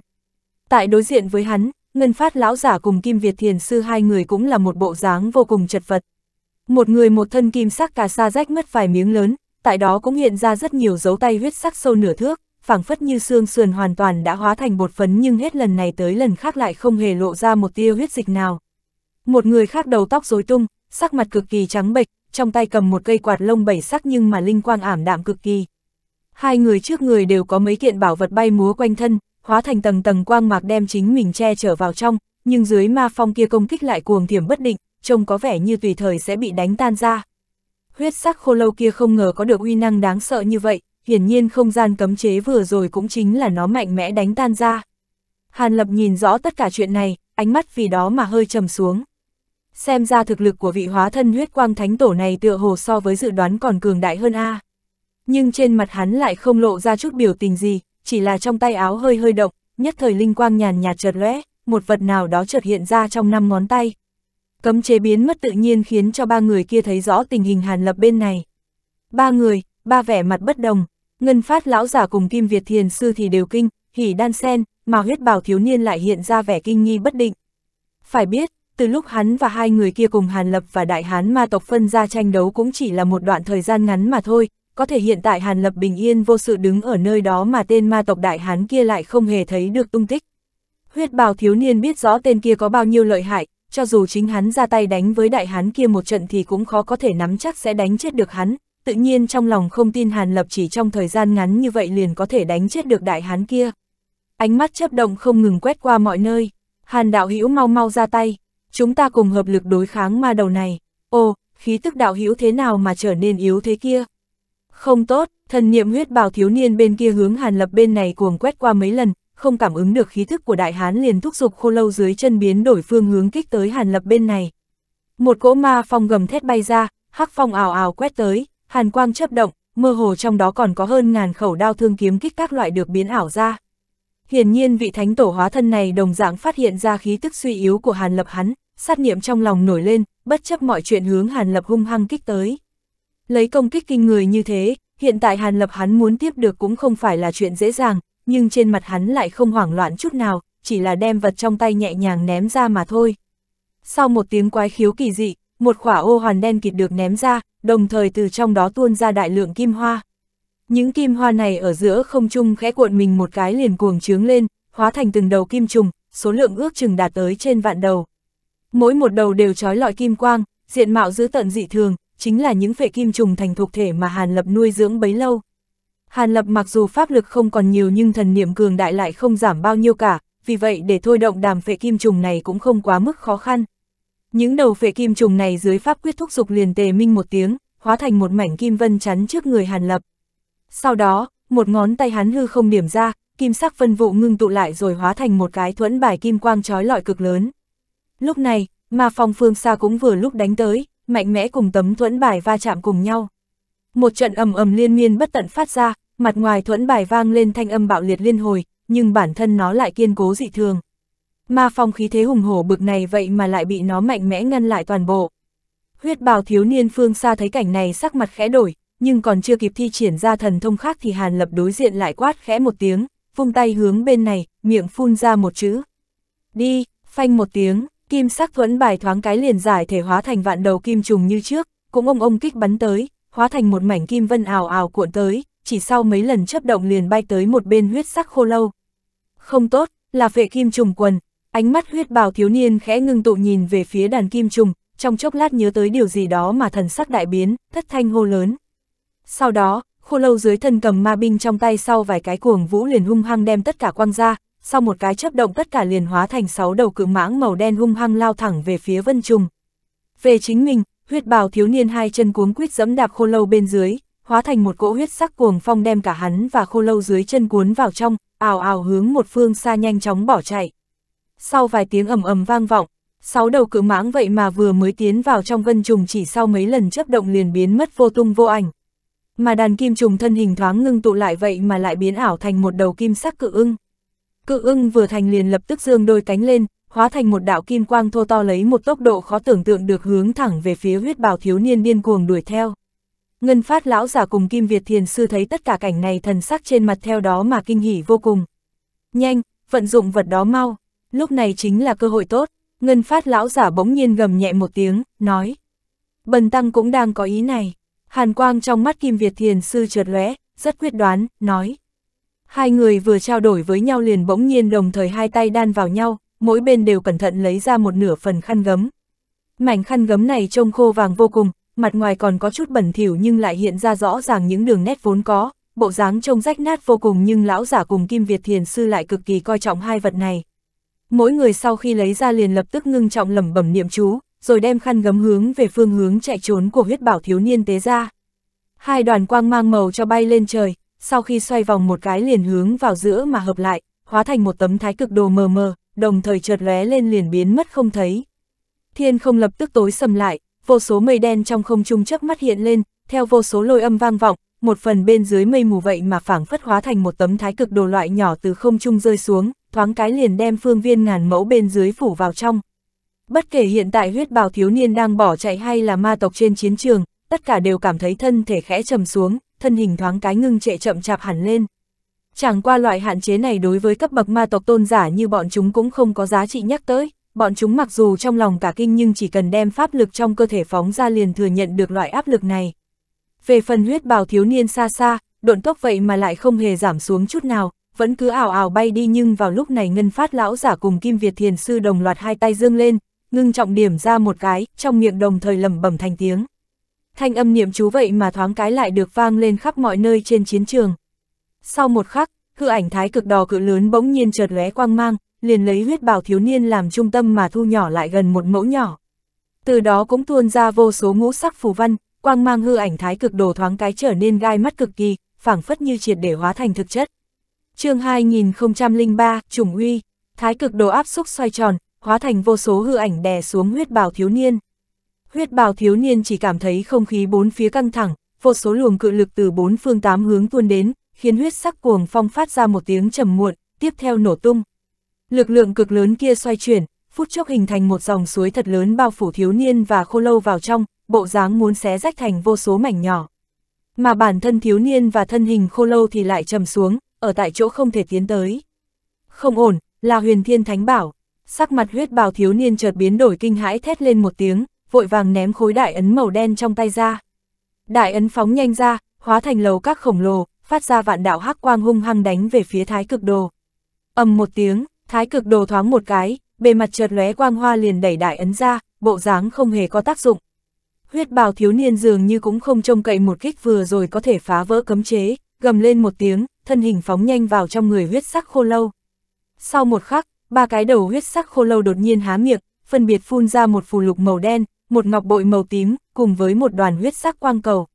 Ba vật vừa hiện ra, đều phát ra tiếng trầm muộn nổ tung, phân biệt hóa thành một đoàn ma khí màu đen, một đoàn hà quang màu tím và một chùm tế ti màu máu, nhập thẳng vào thân hình khô lâu. Nhất thời bề mặt huyết sắc khô lâu hiện ra ba loại ma vân quỷ dị màu sắc khác nhau, trải rộng khắp thân hình, tiếp theo sau khi thống khổ giống to một tiếng, thân thể liền cuồng trướng gấp bội, miễn cưỡng giấy dụa khỏi cự lực trói buộc bốn phía, sáu kiện ma binh màu đen đột nhiên vung lên. hắc quang chợt lóe, một kiện binh khí dài giống như nguyệt đao lập tức ngưng tụ hiện lên. Trong mắt huyết sắc khô lâu chợt lóe lục quang, ánh mắt hung hợt, sáu bàn tay to màu đỏ sậm đồng thời cầm lấy ma binh thật dài kia, nhắm thái cực đồ trên không trung chém một cái. Một đạo đao quang màu đen dài hơn trăm trượng xé rách hư không xuất hiện phía trên thái cực đồ. Chính giữa thái cực đồ bỗng nhiên hiện ra một đao hắc ngân mờ nhạt, tiếp theo không tiếng động phân ra, bị chẻm thánh hai mảnh. Huyết sắc khô lâu chỉ cảm thấy cự lực bốn phía phút chốc giảm đi hơn phân nửa, lúc này mừng rỡ, huyết quang nổi lên, định phá không bỏ chạy. Nhưng đúng lúc này lão giả tóc bạc và Kim Việt Thiền sư phía xa lại không nói một lời, cùng há miệng phun ra một đoàn tinh huyết, sau đó điểm vào hư không một cái, hóa thành từng đoàn huyết vụ biến mất. Đồng thời, nguyên bổn hai mảnh thái cực đồ bị chém nứt phát ra tiếng xé gió, bên trong bỗng nhiên xuất hiện nhiều luồng khí tức xa lạ, chớp động một cái liền tụ hợp lại. Quang mang chợt lóe, thái cực đồ lần nữa hợp lại như lúc ban đầu, cũng lần nữa xoay tròn. Thân hình khổng lồ của huyết sắc khô lâu vừa mới hóa thành một đao huyết hồng bay lên không vài chục trượng, liền ầm một tiếng, bị một tầng cự lực khổng lồ mạnh mẽ đè xuống, lần nữa bị trói buộc. Hóa thân huyết quang ẩn thân trong huyết sắc khô lâu thấy cảnh này trong lòng cực kỳ giận dữ, không suy nghĩ thêm, mà binh thật dài trong tay lập tức không ngừng chém lên không trung. Từng đạo đao quang thật dài, phảng phất như rồng đen phóng lên trời, không ngừng chém về phía thái cực đồ.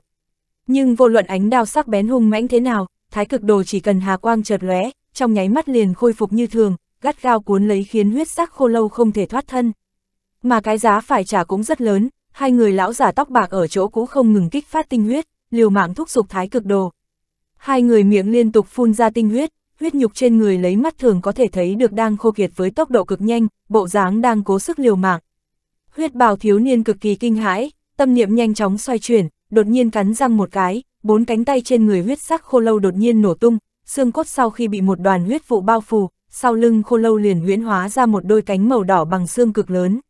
Hai tay còn lại thì thúc giục pháp quyết, cự xí vỗ mạnh, nguyên bổn thân hình bất động có chút thoáng lên, lần nữa bay lên trời. Tất cả nghe có vẻ dài đồng, nhưng lại diễn ra nhanh như chớp. Nhưng huyết sắc khô lâu hành động đã chậm trễ, trên không trung vang lên tiếng xé gió, cự ưng màu vàng do đàn trùng ngưng tụ biến ảo thành rốt cục cũng bay tới, hung hăng chảo một cái vào người huyết sắc khô lâu. Không ổn, ba cái đầu huyết sắc khô lâu đột nhiên cùng quát to một tiếng, mà binh trong tay vội vàng chém về phía cự ưng màu vàng, đồng thời cự xí sau lưng không tiếc pháp lực vỗ mạnh, độn tốc phút chốc tăng hơn một nửa. Nhưng đáng tiếc chính là giờ phút này nó đang bị thái cực đồ bao phủ, ngay cả khi đã hóa thành một đoàn huyết quang bay nhanh đi, nhưng độn tốc vẫn cực kỳ chậm chạp. Mà cự ưng màu vàng sau khi bị đao quang chém trúng, lập tức phanh một tiếng, hóa thành vạn đóa kim hoa phóng xuống. Chỉ thấy từng điểm kim quang chấp động, huyết sắc khô lâu sau khi hét thảm một tiếng, liền bị hơn vạn con vệ kim trùng bao phủ. Mỗi một tấc trên người nó đều bị vô vô số giáp trùng màu vàng to cỡ bàn tay bám vào, đồng thời phát ra tiếng cắn nuốt kéo kẹt, từ xa nhìn lại rất rợn người. Huyết sắc khô lâu ngay cả khi do huyết quang thánh tổ dùng một thiên dị bảo biến thành, nhưng vẫn không ngừng kêu lên thảm thiết trong đám trùng.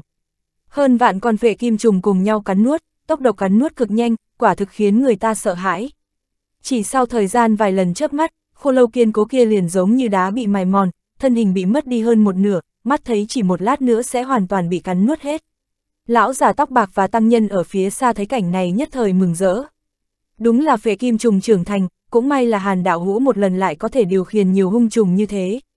Lão giả vui mừng nói, đạo hữu nói phải, mặc giản ly đại nhân tặng thánh bảo này, xem ra cũng chờ được cơ hội, may là lúc trước cố nhịn không vận dụng bảo vật này, nếu không sao có thể bất ngờ giữ chân ma đầu kia lại.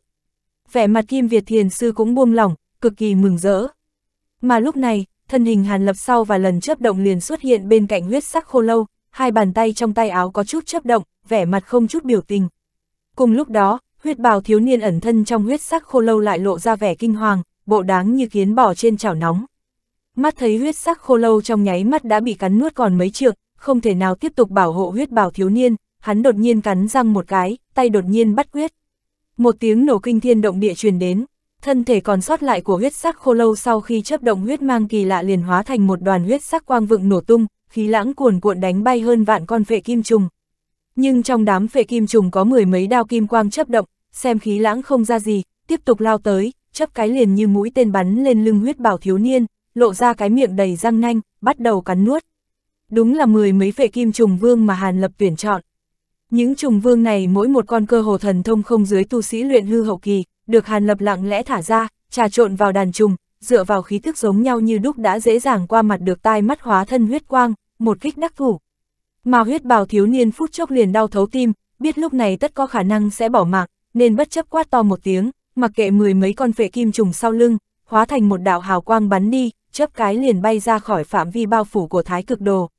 Hàn Lập thấy cảnh này, trên mặt không chút bối rối, ngược lại ánh mắt chợt lóe hiện lên một tia quỷ dị. Sau một khắc, hư không phía trước huyết hồng đột nhiên chợt lóe kim quang, mười mấy đạo thú ảnh màu vàng nhạt quỷ dị hiện ra, đồng thời một phiến chảo ảnh rậm rạp trong nháy mắt tuôn ra. Âm âm âm, mười mấy đạo thú ảnh chấn động bắn lui, quang mang tiêu tan lần nữa biến ảo thành một dị thú màu vàng, bộ dáng không phải là đối thủ.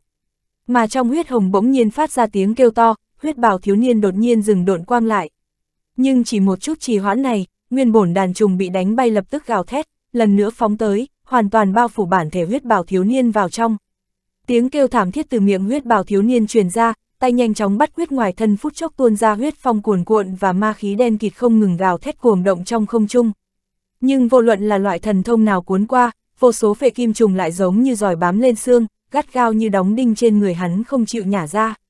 Đáng thương cho vị hóa thân thánh tổ này, ngay cả khi trong người đầy ma công, nhưng đụng tới loại phệ kim trùng đau thương không nhập, nước lửa không sợ này, không bị khắc chế bởi bảo vật trong người, cũng không bị dị bảo han chế độn thuật cho nên không có cách nào ngăn cản. Trong khoảnh khắc, thân thể huyết bào thiếu niên bị cắn nuốt không còn một mảnh, ngay cả Nguyên Anh bên trong cũng không thể thoát được. Lúc này, hơn vạn con phệ kim trùng mới phát ra tiếng vù vù giải tán, hóa thành vô số đóa kim hoa bắn trở về phía Hàn Lập. Hàn Lập phất tay, nhất thời thu tất cả linh trùng vào cơ thể, sau đó ánh mắt đảo qua phía dưới thái cực đồ thấy trống không, trên mặt mới thật sự thả lòng. Lúc này, thái cực đồ do quang mang hóa thành cũng phanh một tiếng, bỗng nhiên hóa thành từng điểm linh quang tan biến. Lão giả và tăng nhân ở phía xa thao túng bảo vật này đồng thời há miệng, lần nữa phun ra một đoàn tinh huyết, huyết nhục trên người phút chốc lại khô héo đi hai phần. Nhưng sau khi hai người thấy cảnh huyết bào thiếu niên bị đàn trùng cắn nuốt, vẻ mặt lại mừng như điên. Ha ha, tốt quá, ma đầu này rốt cục cũng đã chết. Hàn đạo hữu tên ma tộc tôn giả kia phải chăng cũng chết trong tay ngươi. Thần quang trong mắt lão giả tóc bạc cực kỳ ảm đạm, nhưng giờ phút này lại cười ha ha hỏi. chương 2004, Đại Thắng, ừm, tên ma tôn hậu kỳ kia mặc dù rất khó giải quyết, nhưng đúng là đã bị ta giết. Hàn Lập không cần phải giấu giếm việc này, lạnh nhạt gật đầu cười. Hàn đạo hữu thật sự đã lập công lớn, trận chiến này chúng ta thắng rồi. Lão giả tóc bạc nghe vậy, một chút lo lắng trong lòng cuối cùng cũng hoàn toàn thả lòng, mừng như điên nói. Tiếp theo hắn không suy nghĩ thêm, hít sâu một hơi, đột nhiên lớn tiếng quát to. Thánh tổ ma tộc đã bị chúng ta đánh bại, đám ma tộc nhãi nhép các ngươi nhất định phải chết. Hồn phi phách tán là kết quả duy nhất của các ngươi. Giọng nói lão giả như sấm sét, không ngừng vang vọng khắp hư không trên chiến trường, cơ hồ hai tộc nhân ma đều nghe rõ. Bên nhân tộc vừa nghe xong, hiển nhiên hoan hô một trận, tinh thần trong nháy mắt tăng vọt mấy lần, mà bên ma tộc nghe vậy thì lại tao động một trận. Những ma tôn cao dai sau khi nhìn về phía lão già, kết quả không thấy thân ảnh hai người huyết bào thiếu niên và ma tộc đại hán, trong lòng nhất thời hoảng sợ, ánh mắt không khỏi có chút mờ mịt. Mà lão già tóc bạc và Kim Việt Thiền Sư thấy cảnh này, tay bắt quyết, lập tức lấy ra mấy kiện bảo vật phóng về một chiến đoàn gần bọn họ nhất. Ở nơi đó đang có hai gã trưởng lão Thiên Uyên Thành và hai gã ma tộc tôn giả đánh nhau khó phân thắng bại, vừa thấy thế tới của hai người hung hăng như vậy, lúc này sắc mặt đại biến nhìn nhau một cái. Chạy, một lão giả mặc ma giáp màu xanh bỗng nhiên khẽ quát một tiếng. Một gã ma tôn khác cả người bị hắc khí bao phủ, không nói hai lời hừ một tiếng, hai tay trả sát đánh về phía đối diện. Tén ầm ầm nổ ra, vô số lôi hỏa màu đen khí thế phô thiên cái địa phóng ra, tam thời đánh hai trưởng lão nhân tộc thối lui, tiếp theo phất tay, một chiếc thuyền gỗ đen thui liền xuất hiện rũa không trung. Hắn chấp cái liền xuất hiện phía trên, thuyền gỗ ầm vang một tiếng, liền hóa thành một đạo hắc hồng phá không bay đi. Về phần lão giả giáp xanh, sớm lấy ra một phiên kỳ màu xanh, hung hăng vỗ ra một đoàn quang hà màu xanh đại phóng, bao phủ thân hình vào trong. Dị quang chợt lóe, hắn liền biến mất tại chỗ. Sau một khắc, không gian cách đó trăm trượng ba động, một đạo nhân ảnh mờ nhạt chợt lóe hiện ra, nhưng thanh quang lại phát sáng, lần nữa biến mất không thấy. Hai gã ma tôn này không chút do dự chạy trốn. Đối thủ của bọn họ, hai gã trưởng lão Thiên Uyên Thành thấy cảnh này hiển nhiên không cam lòng, hợp lực đánh lui lôi hỏa màu đen, tiếp theo khống chế độn quang định đuổi theo.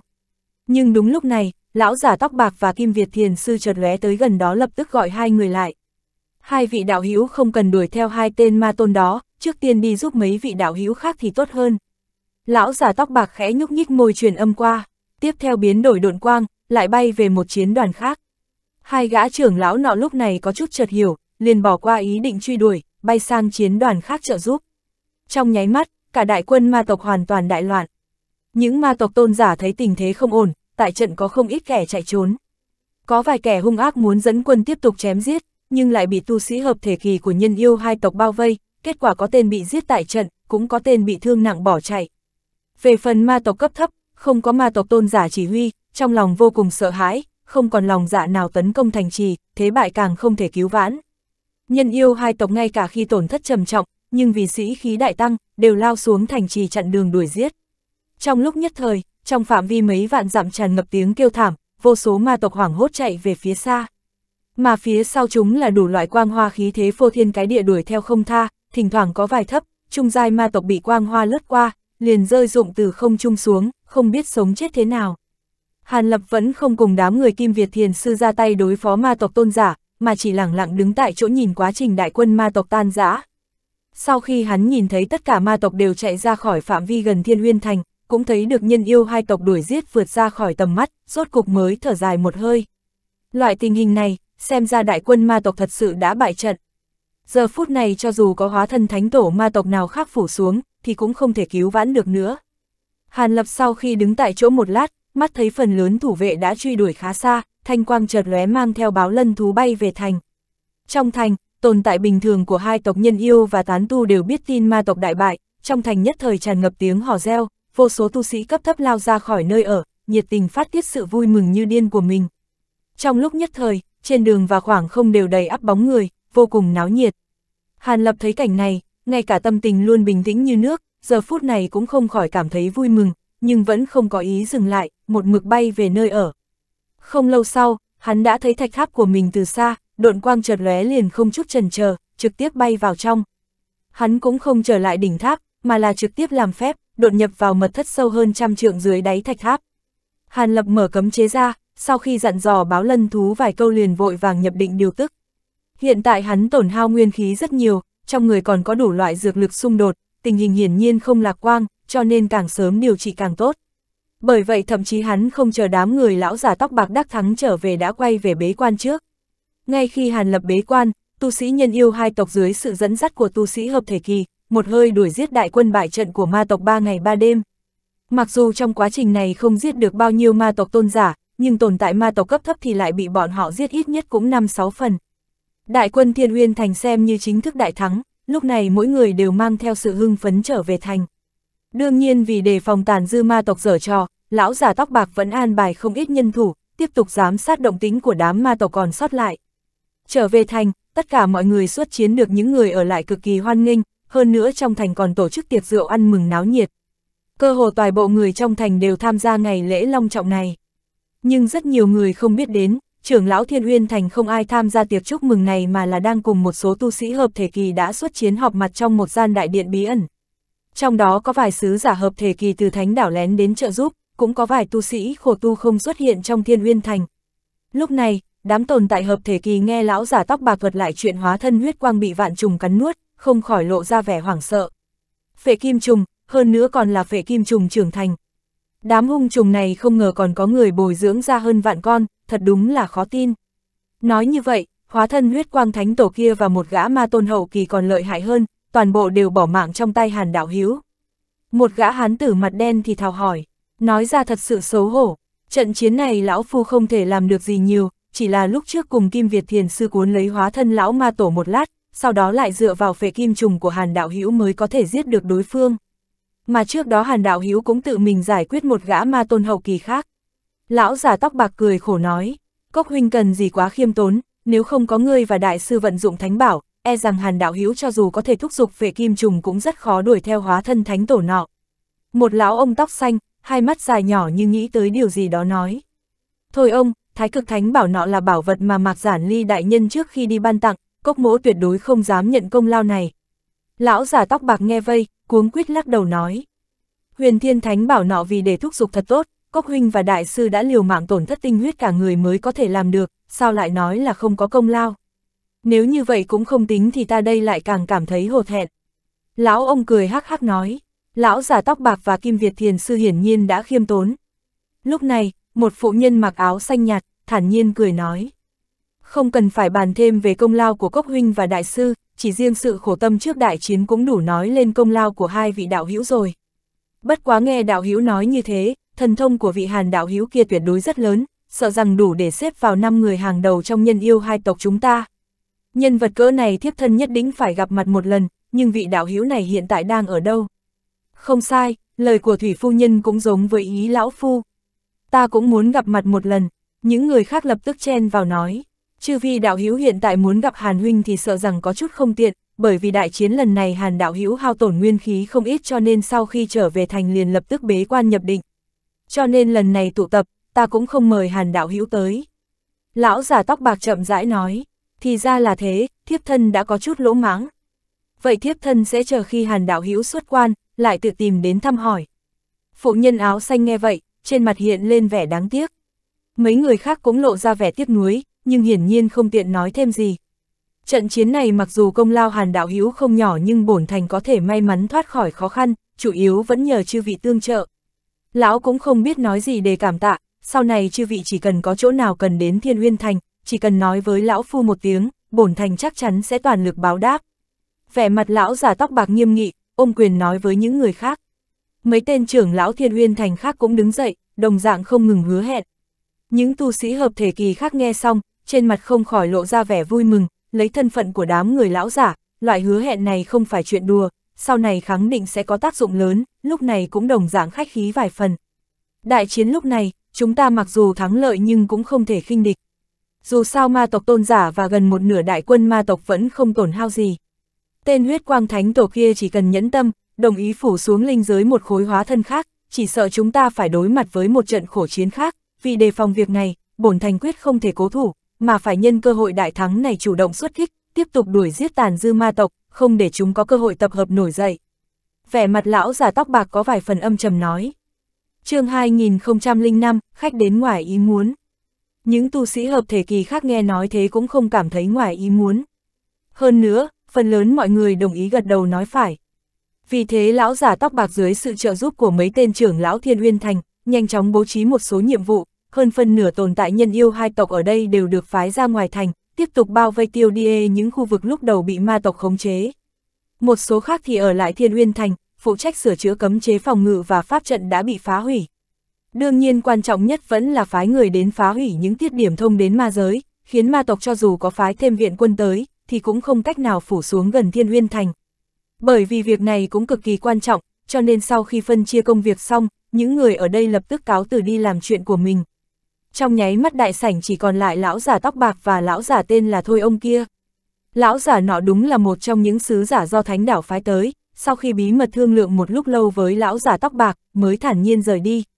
Mà sau khi thương lượng, vẻ mặt lão giả tóc bạc lại rất vui. Dường như từ miệng lão ông nọ biết được tin tức gì đó rất tốt. Sau đó không lâu, Thiên Uyên thành phái ra đông đảo tu sĩ hợp thể kỳ, nguyên bổn những nhóm ma tộc còn sót lại ở gần đó đều bị bao vây tiêu đi. Nhưng những ma tộc còn lại khác thì dưới sự dẫn đầu của một số ma tộc tôn giả, chậm rãi rời khỏi khu vực Thiên Uyên thành, đầu quân vào mấy đơn vị đại quân ma tộc khác ở khu vực lân cận. Dưới tình hình này, truy binh Thiên Uyên thành hiển nhiên không dám đuổi giết, mà sau khi bố trí lượng lớn nhân thủ canh gác tại biên giới, liền quay trở về thành.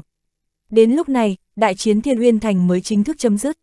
Tổng kết toàn đại chiến, nhân yêu hai tộc cuối cùng đại thắng, nhưng lực lượng phòng thủ cũng bị phá hủy hơn một phần ba, thậm chí còn có vài trưởng lão hợp thể kỳ ngoài ý muốn chết trong trận chiến, về phần tồn tại dưới luyện hư kỳ lại càng chết vô số. Bất quá cũng may, cuối cùng đã đánh lui đại quân ma tộc, thậm chí số lượng ma tộc chết còn nhiều hơn, coi như là trận thắng đầu tiên từ khi ma kiếp diễn ra tới nay. Tin này có tác dụng cổ vũ tinh thần hai tộc, ý nghĩa rất lớn. Đương nhiên thăng lợi của Thiên Huyên Thành không thể nói rằng hai tộc thật sự chiếm được thượng phong trong ma kiếp, trở lại những cứ điểm khác, lúc này đều bị đại quân ma tộc vây khốn. Về phần những cứ điểm đó có thể ngăn cản cơn sóng dữ hay không thì chỉ có trời mới biết. Tạm thời gác qua chuyện đó, lúc này Thiên Uyên thành đại thắng, sau khi đánh đuổi ma tộc ra khỏi khu vực khống chế, nhất thời trong phạm vi này xuất hiện không ít tán tu và tông môn thế gia còn sót lại, đều đến gia nhập Thiên Uyên thành. Thậm chí một số khu vực gần đó bị ma tộc khống chế, cũng có đông đảo tán tu và nhiều thế lực nhỏ tình nguyện mạo hiểm trốn chạy đến Thiên Uyên thành. Kể từ đó nhân thủ mà Thiên Uyên thành tổn thất lần nữa dễ dàng bổ sung, tin rằng trải qua một thời gian nữa, cho dù đại quân ma tộc có phất cờ trở lại thì phía Thiên Uyên Thành cũng có lực để tiếp tục chiến đấu. Cứ như vậy, tất cả mọi thứ tại Thiên Uyên Thành nhanh chóng khôi phục, dùng hết sức để tích góp mọi thứ. Thời gian như thoi đưa, trong nháy mắt một năm đã trôi qua. Một ngày kia, thạch tháp nơi Hàn Lập ở bỗng có một vị khách đặc biệt đến. Hải Đại Thiếu và Khí Linh Tử nhận được tin thì kinh ngạc, vội vàng mời vào đại sảnh. Người này vừa ngồi xuống, lập tức không chút khách khí hỏi Khí Linh Tử lần này ta đến có chuyện quan trọng muốn gặp sư phụ các ngươi, các ngươi đi thông báo cho ta một tiếng. Hồi bẩm tiền bối, gia sư đang bế quan, sớm đã căn dặn không muốn tiếp khách. Mặc dù trong lòng khí linh tử có chút bất an, nhưng vẫn thành thật trả lời. Không sao, ta và sư phụ ngươi trước kia đã sớm có ước hẹn. Ngươi cứ việc thông báo một tiếng, hàn đạo hữu sẽ không trách các ngươi. Người này thần sắc lãnh đạm, không thèm để ý nói. Nếu tiền bối nói như thế thì vãn bối sẽ thử xem sao. Khí linh tử sau khi hơi trần chờ biết rõ người trước mặt không phải là tu sĩ hợp thể kỳ bình thường, liền miễn cưỡng đồng ý. Tiếp theo hắn lật tay, một truyền âm phù thoáng hiện ra, sau khi cúi đầu nói với lá phủ mấy câu, liền phất tay ném ra ngoài. Trong mật thất dưới đáy thạch tháp, Hàn Lập từ ngày bế quan tới giờ vẫn không chút động đậy. Đột nhiên kim quang trên người chợt lóe, hai mắt chậm rãi mở ra. Chỉ thấy hai mắt hắn chấp động tinh quang, rõ ràng nguyên khí đã khôi phục hơn phân nửa tay hư không chảo một cái, phốc một tiếng, một đạo hỏa quang từ hư không trực tiếp bay tới, chợt lóe lên rồi nằm trong lòng bàn tay. Thần niệm hàn lập sau khi đảo qua nội dung bên trong, ánh mắt chấp động, không khỏi thì thào một câu. Còn tưởng là ai, hóa ra hắn đã tới. Xem ra không ra ngoài gặp một chút thì không được. Vừa dứt lời, hắn đứng lên, thân hình thoáng mơ hồ, liền trực tiếp hóa thành một đạo thanh hồng bay ra khỏi cửa mật thất. Chỉ một lát sau, trung tâm đại sảnh trên đỉnh thạch tháp chợt lóe thanh quang, thanh quang thu lại, thân ảnh Hàn Lập bất ngờ đứng thẳng tắp tại đó. Bái kiến sư phụ, khí linh tử và hải đại thiếu vừa thấy Hàn Lập, lúc này mừng rỡ tiến lên chào hỏi. Các ngươi đứng lên đi, lũng huynh, lần này ngươi tới hình như không đúng lúc, so với ước định lúc trước thì có vẻ sớm hơn rất nhiều. Hơn nữa hiện tại đi tới Thiên Uyên Thành, không sợ ma tộc sẽ nhân cơ hội san bằng cứ điểm lũng ra sao. Hàn Lập sau khi khoát tay về phía hai gã đệ tử, liền quay đầu lại thản nhiên nói với vị khách vừa tới. Vị khách này sau khi đánh giá Hàn Lập trên dưới và lần, sắc mặt tuy lãnh đạm, nhưng trong mắt lại hiện lên một tia kinh dị, bất ngờ đúng là lũng gia lão tổ năm đó từng có có ước định bí mật với Hàn Lập.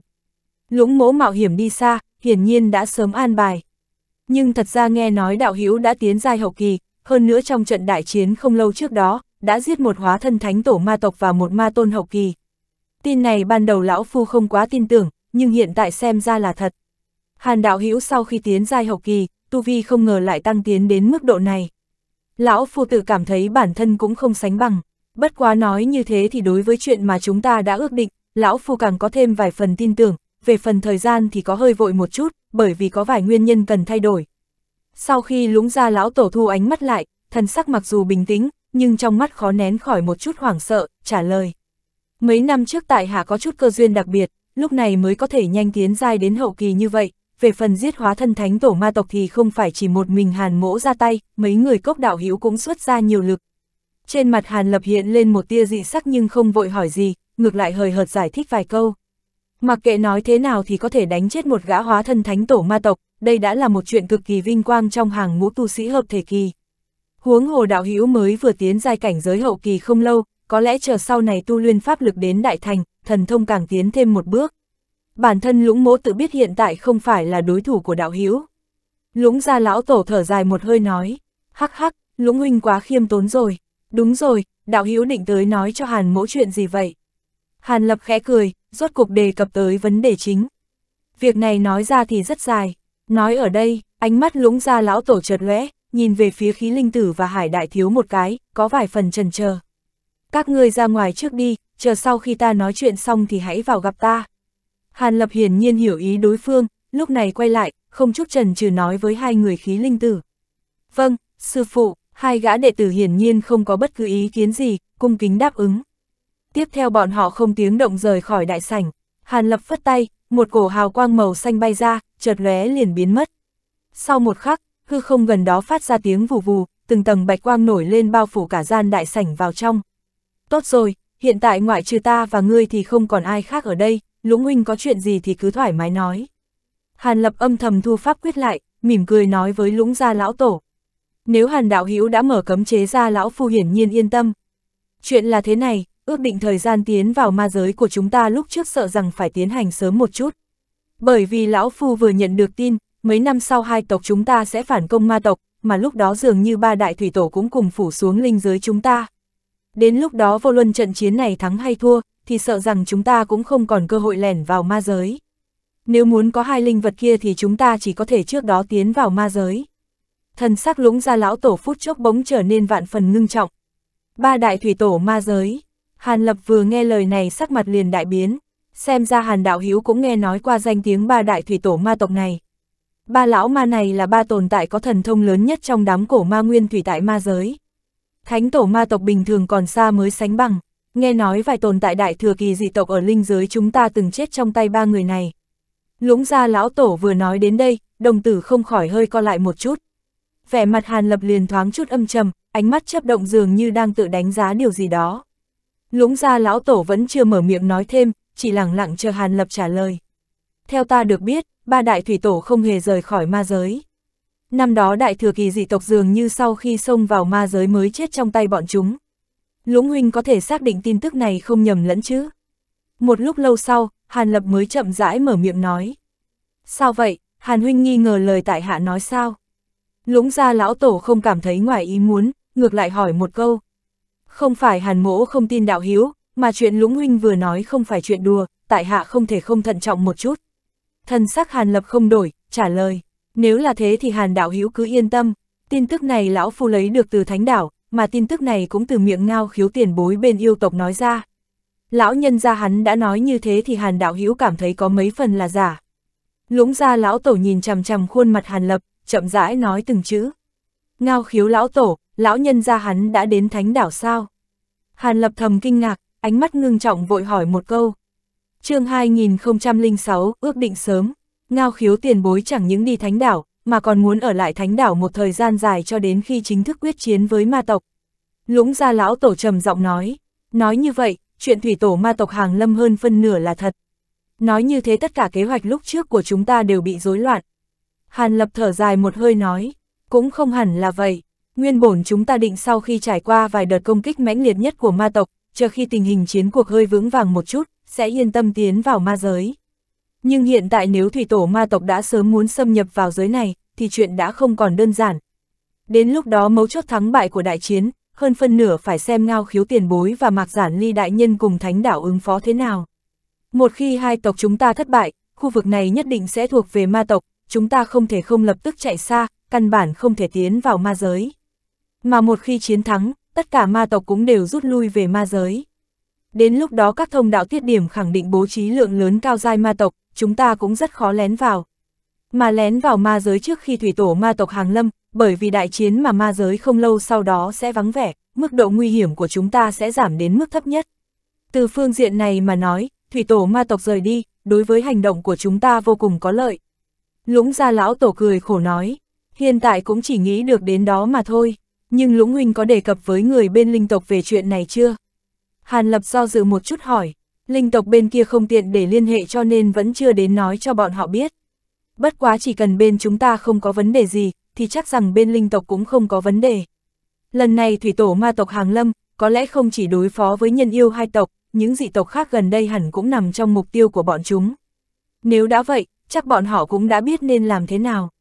Lũng gia lão tổ vô cùng tự tin nói, thì ra là thế, nhưng việc này không hề nhỏ, để ta suy nghĩ hai ngày rồi sẽ trả lời đạo hữu Sao, thế nào? Hàn Lập suy nghĩ một lát mới ngưng trọng nói.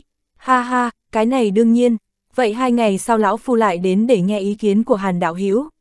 Lũng gia lão tổ không cảm thấy bất ngờ, mặt tươi cười đồng ý. Hai ngày sau, Hàn mẫu nhất định sẽ cho đạo Hiếu một câu trả lời thuyết phục. Bất quá trước đó tại hạ muốn biết động tĩnh ma tộc bên chỗ lũng huynh, mong lũng huynh không ngại chỉ giáo. Hàn lập gật đầu đột nhiên chuyển đề tài nói. Những nơi khác lão phu không rõ lắm, nhưng cứ điểm của mấy đại gia tộc chúng ta mặc dù bị ma tộc tấn công vài lần, nhưng cuối cùng cũng miễn cưỡng tự bảo vệ được. Bất quá cũng do chủ lực ma tộc đều tập trung vào Thánh Hoàng Thành, nếu không mấy đại gia tộc chúng ta có lẽ đã gặp nguy hiểm. Dường như thống lĩnh ma tộc bên Thánh Hoàng Thành muốn tập trung đông đảo lực lượng để đánh hạ Thánh Hoàng Thành, sau đó mới trở lại tiêu đi thế lực của chúng ta. Mà Thánh Hoàng Thành cũng không hổ là tồn tại đứng đầu trong nhân tộc chúng ta.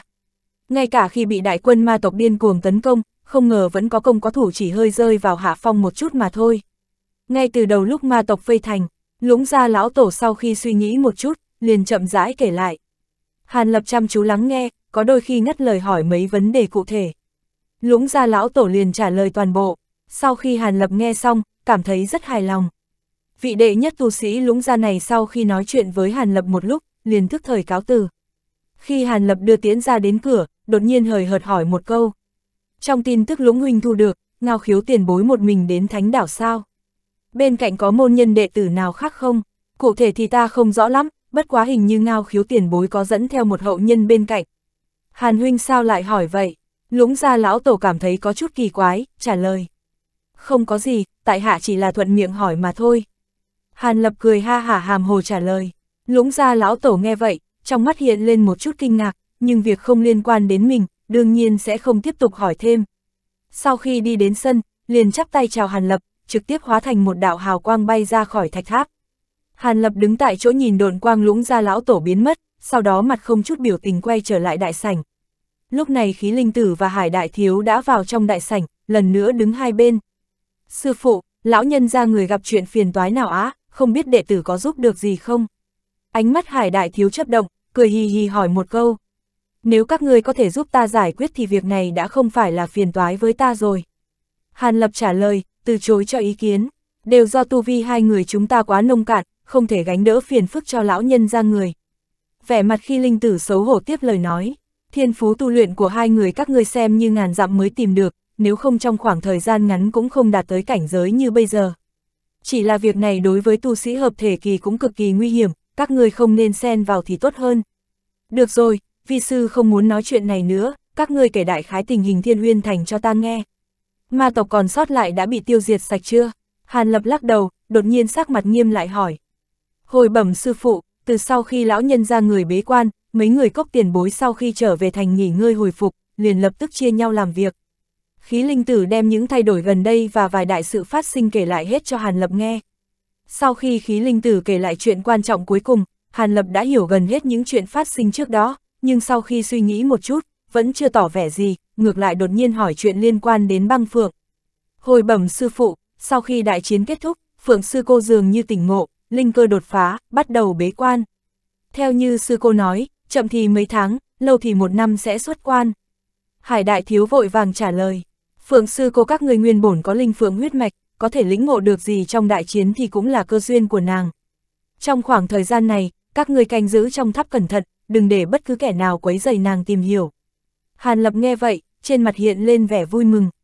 Vâng, sư phụ, khí linh tử và hải đại thiếu hiển nhiên tuân lệnh. Được rồi, ta cần yên tĩnh một mình, hai người các ngươi ra ngoài đi. Hàn Lập hài lòng gật đầu, phân phó một câu. Vậy lão nhân gia sư phụ nghỉ ngơi. Đồ nhi xin cáo lui. Khí linh tử và hải đại thiếu thi lễ, liền thối lui ra ngoài cửa. Đúng rồi, chuyện hôm nay lũng đạo hữu tới chơi, hai người các ngươi không được tiết lộ cho người ngoài biết. Hàn Lập như nghĩ tới điều gì, ngay khi hai gã đệ tử ra đến cửa, bỗng nhiên dặn dò một câu. Hai người khí linh tử dùng mình, hiển nhiên cung kính đáp ứng. Trong nháy mắt, cả đại sảnh chỉ còn lại một mình Hàn Lập. Hắn lẳng lặng ngồi trên ghế, tay chống cằm, hai mắt hơi nhíu lại suy ngẫm. Trên mặt mơ hồ có một tia xuất thần. Hơn nửa năm sau, trên bầu trời một dãy núi liên miên bất tận, một đám ma tộc cả người quay cuồng hắc khí, đang không ngừng chém giết cùng bảy tám gã tu sĩ nhân tộc. Thực lực và thần thông hai bên không chênh lệch nhiều, nhưng cũng bởi vậy mà tranh đấu càng lúc càng kịch liệt. Chỉ thấy quang mang và ma quang chấp động, tiếng nổ phát ra không ngớt. Đột nhiên chân trời phía xa chợt lóe linh quang, một đạo hào quang ngũ sắc thoáng hiện ra, tiếng xé gió chỉ rít lên, hào quang liền quỷ dị xuất hiện gần đó. Ma tộc và tu sĩ nhân tộc bên dưới cùng kinh ngạc, dưới tình huống không biết kẻ đến là địch hay là bạn, không tự chủ dừng tay, nhanh chóng thối lui về phía sau. Nhưng đúng lúc này, từ trong đạo hào quang năm màu nọ truyền đến tiếng cười trong trẻo của một nữ tử trẻ tuổi. Nếu ta đã gặp thì cũng thuận tay giúp các ngươi một chút.